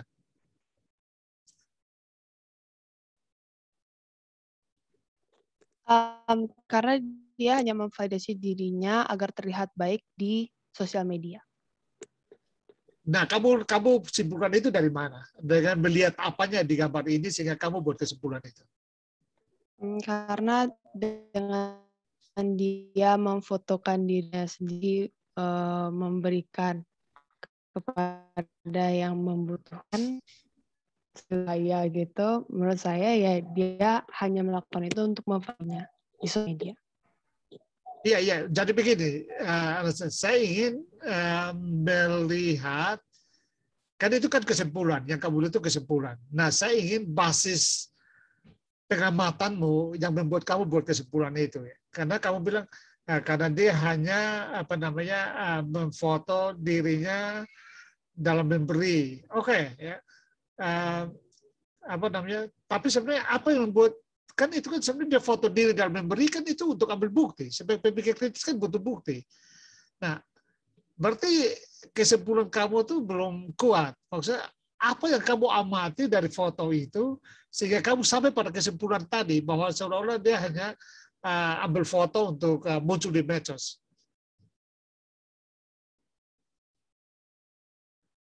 Silakan. Atau siapa? Siapa bisa bantu? Sevanya? Seva, oh ya, Anastasia, silakan. Kalau kamu masih boleh, silakan. Uh, maksudnya saya bukti kayaknya nggak sampai harus kayak gini sih Pak.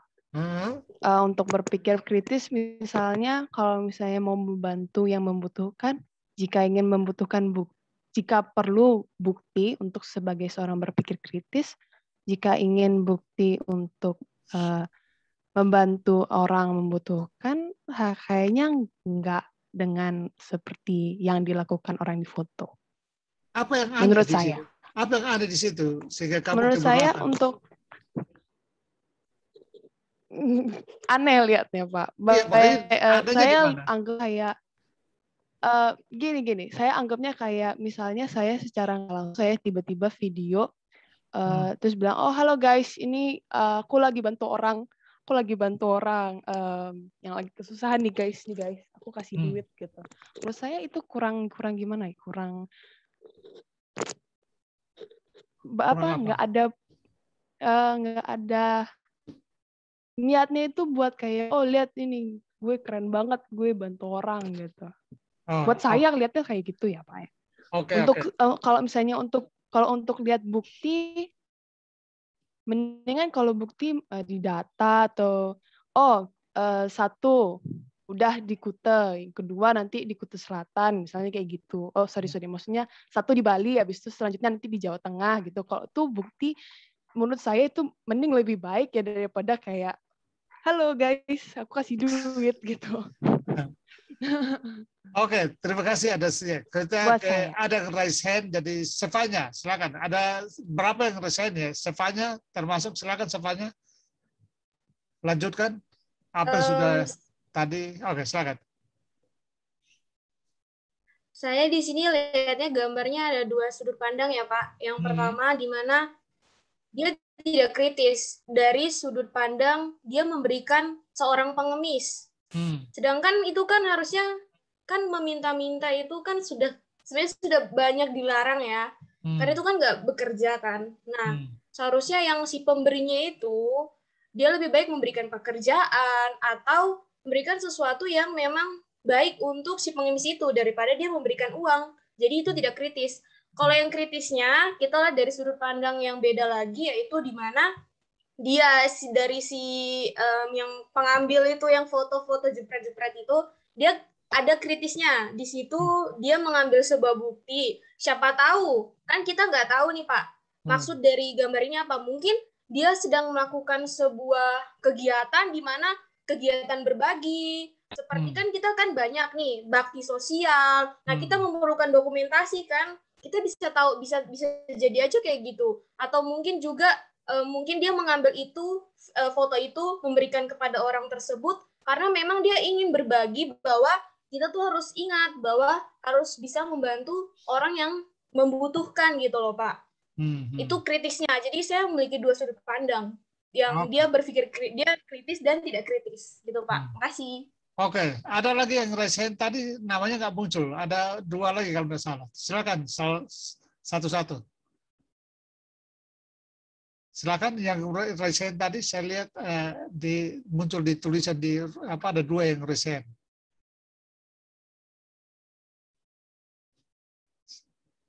Silakan. Atau siapa saja silakan. Saya persilakan kalau ada lagi. Ada di Cetro.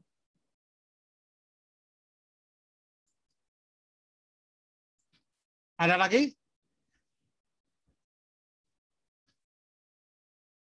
Oke, kalau tidak ada ya sudah tidak apa-apa. Oke, jadi dari dua apa namanya pandangan tadi Anastasia dan Zevanya ya kita dapat gambaran ini sebenarnya cukup apa namanya problematis sama kayak sama seperti apa namanya Petrov tadi ya eh, bahwa apa namanya SOP-nya kan dia harus tekan tapi dia tidak tekan kan gitu. Ya. Nah ini sebenarnya memang butuh pengamatan lebih halus. Kalian lihat gestur tubuhnya, ya kan? Coba perhatikan gesturnya. Gesturnya ini kan memang uh, mungkin ya kalian seharusnya paham, tetapi kalian jadi maksudnya kita buat kesimpulan berdasarkan fakta ini. Oke, kita mau keluar tadi uh, sama Anastasia mencoba mengambil contoh-contoh di luar. Itu oke ya, itu tanpa memperkuat ya. Tapi kita harus uh, fokus pada fakta utamanya dulu ya. Data utamanya ada di sini ya. Dan data utamanya kita perlu periksa adalah gesturnya ya. Jadi bukan soal dia apa atau tidak, tapi gesturnya dalam memberi kita lihat ya. Perhatiannya lebih ke sini daripada perhatiannya dalam memberikan ya. Menatap wajah. Ini butuh empati ya. Nah, dalam berpikir kritis itu apa yang disebut dengan intelektual empati. Nanti kalian akan kita akan dapatkan itu dalam pertemuan-pertemuan. Saya nggak tahu persis ya. Tapi kalau tidak salah dari pertemuan 7 sampai 10 itu ber, uh, membahas semua tentang ini ya. Intelektual empati ya. Nah, ini kalian lihat dari gestur ini sudah jelas bahwa dia lebih mengutamakan uh, kamera ya daripada memberikan. Bahkan seolah-olah dia buang saja uangnya ya terhadap wajah tukang minta-minta yang bahkan orang tua ya yang sebenarnya tidak tegak kita lihat wajahnya ya. Seperti itu ya. Mungkin saya kira kesimpulannya tadi uh, baik dari Anastasia barangkali juga Sefanya ya itu sebenarnya ya memperlakukan ini orang tua tukang minta orang tua seperti ini tidak memandang uang dilempar begitu dan lebih fokus ke sini Saya kira ini sudah ini menunjukkan sebuah apa yang disebut dengan intellectual arrogance ya. Intellectual arrogance ya. Jadi kita dari fakta utama ini saja kita bisa kesimpulan bahwa ini bukan pemikir kritis ya.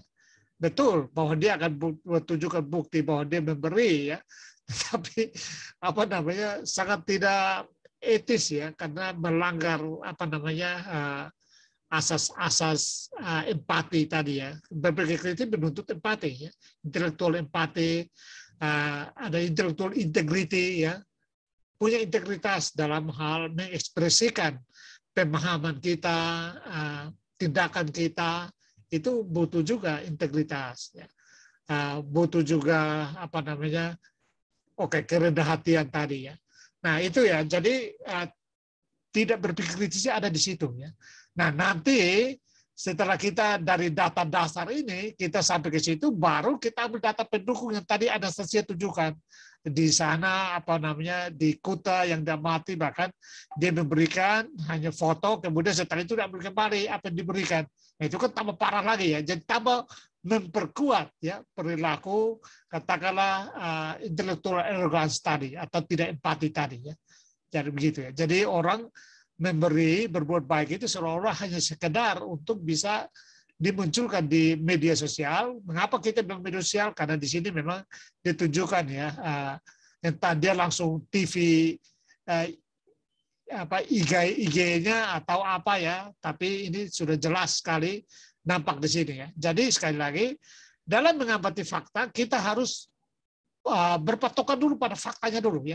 Setelah itu baru kita cari fakta pendukung. Jadi apa yang dibilang oleh analisis tadi itu fakta-fakta pendukung itu analisis ya. Nah, atau yang diinterpretasi juga oleh Azefanya itu juga termasuk pendukung ya. Itu masih ya, apa kita memberikan argumen-argumen pendukung ya.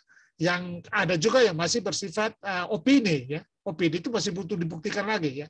Tetapi yang terutama adalah harus jangan lari dulu dari uh, yang paling utama adalah fakta yang sedang kita amati.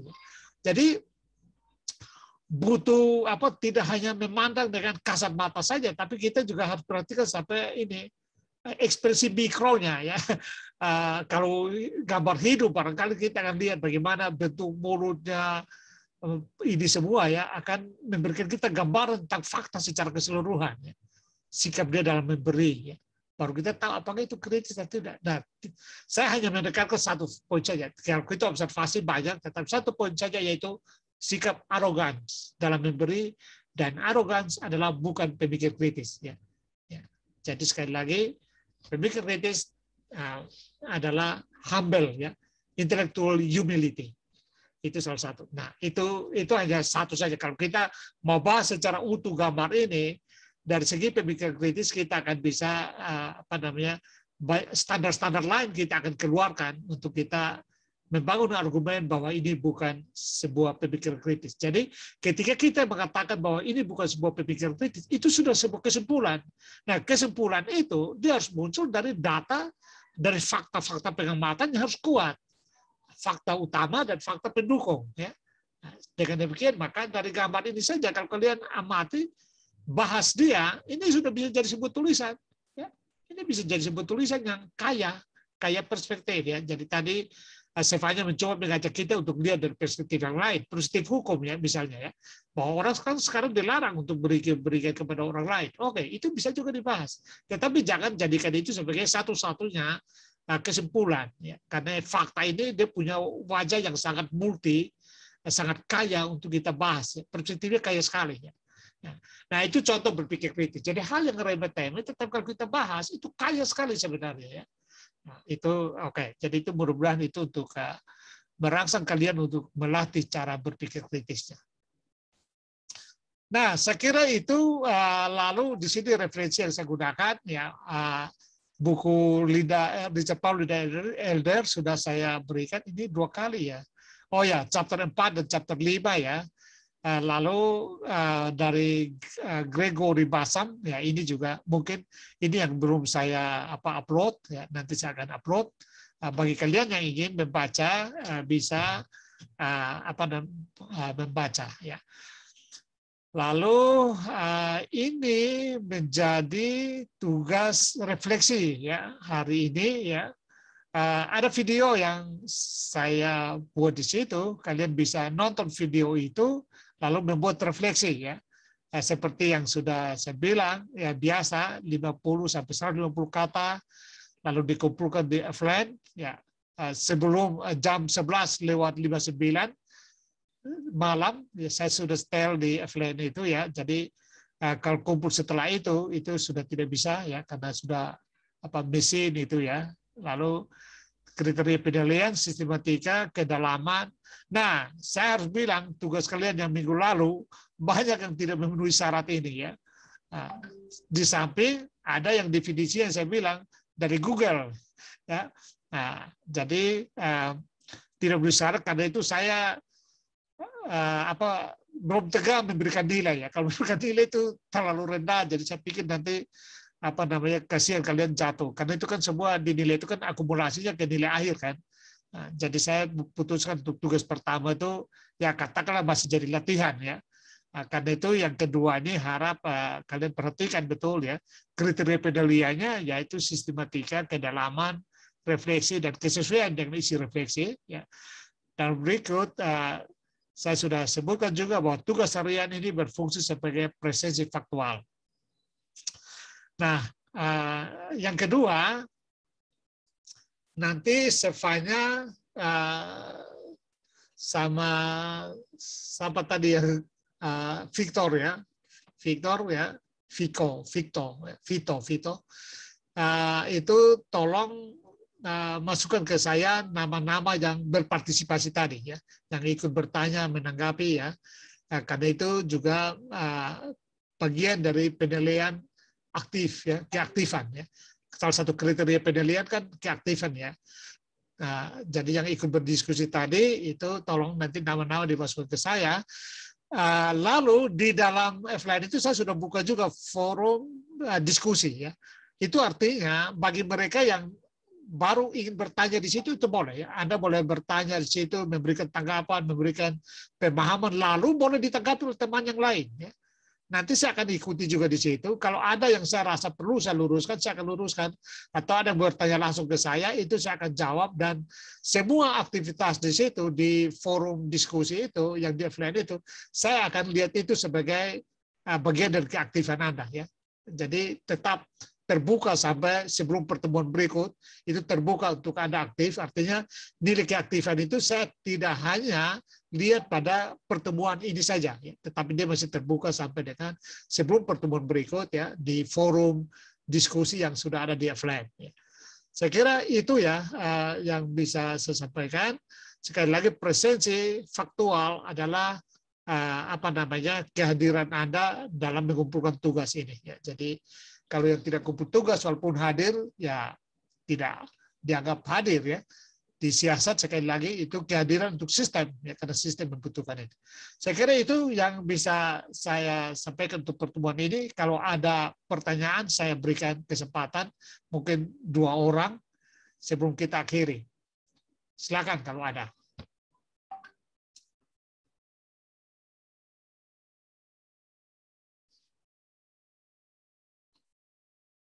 Baik, kalau tidak ada, tidak apa-apa ya. Bagi yang ingin bertanya sekali lagi, tidak tertutup di sini, masuklah ke forum uh, diskusi itu dan Anda boleh uh, bertanya. Mungkin nanti Anda baru ingat sesuatu dan ingin mempertanyakannya, uh, silakan gunakan forum diskusi itu untuk kita apa namanya kita ramaikan di situ ya. Jangan tangguh-tangguh atau jangan malu-malu bertanya. Apa pun itu tidak ada pertanyaan yang gampang dalam berpikir kritis. Tidak ada pertanyaan yang remeh dalam berpikir kritis ya. Apa pun itu yang Anda pikirkan uh, tanyakan ya. Jangan malu-malu ya karena itu semua bagian dari mengembangkan pemikiran kritis. Ya.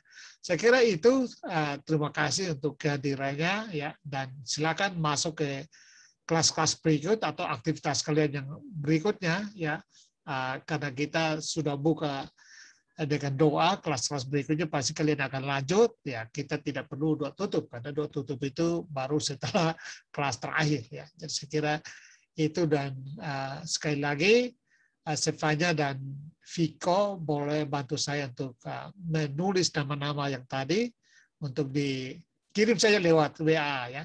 WA saya langsung ke WA saya ya. Demikian terima kasih dan ingat protokol kesehatan selalu jaga supaya kalian sehat dan memungkinkan untuk kita di FOC bisa apa namanya luring lagi ya. Terima kasih dan selamat beraktivitas. Tuhan berkati. Terima kasih Pak. Terima kasih Pak. Terima kasih Pak. Ya ya, terima kasih. Terima kasih Pak. Terima kasih Pak.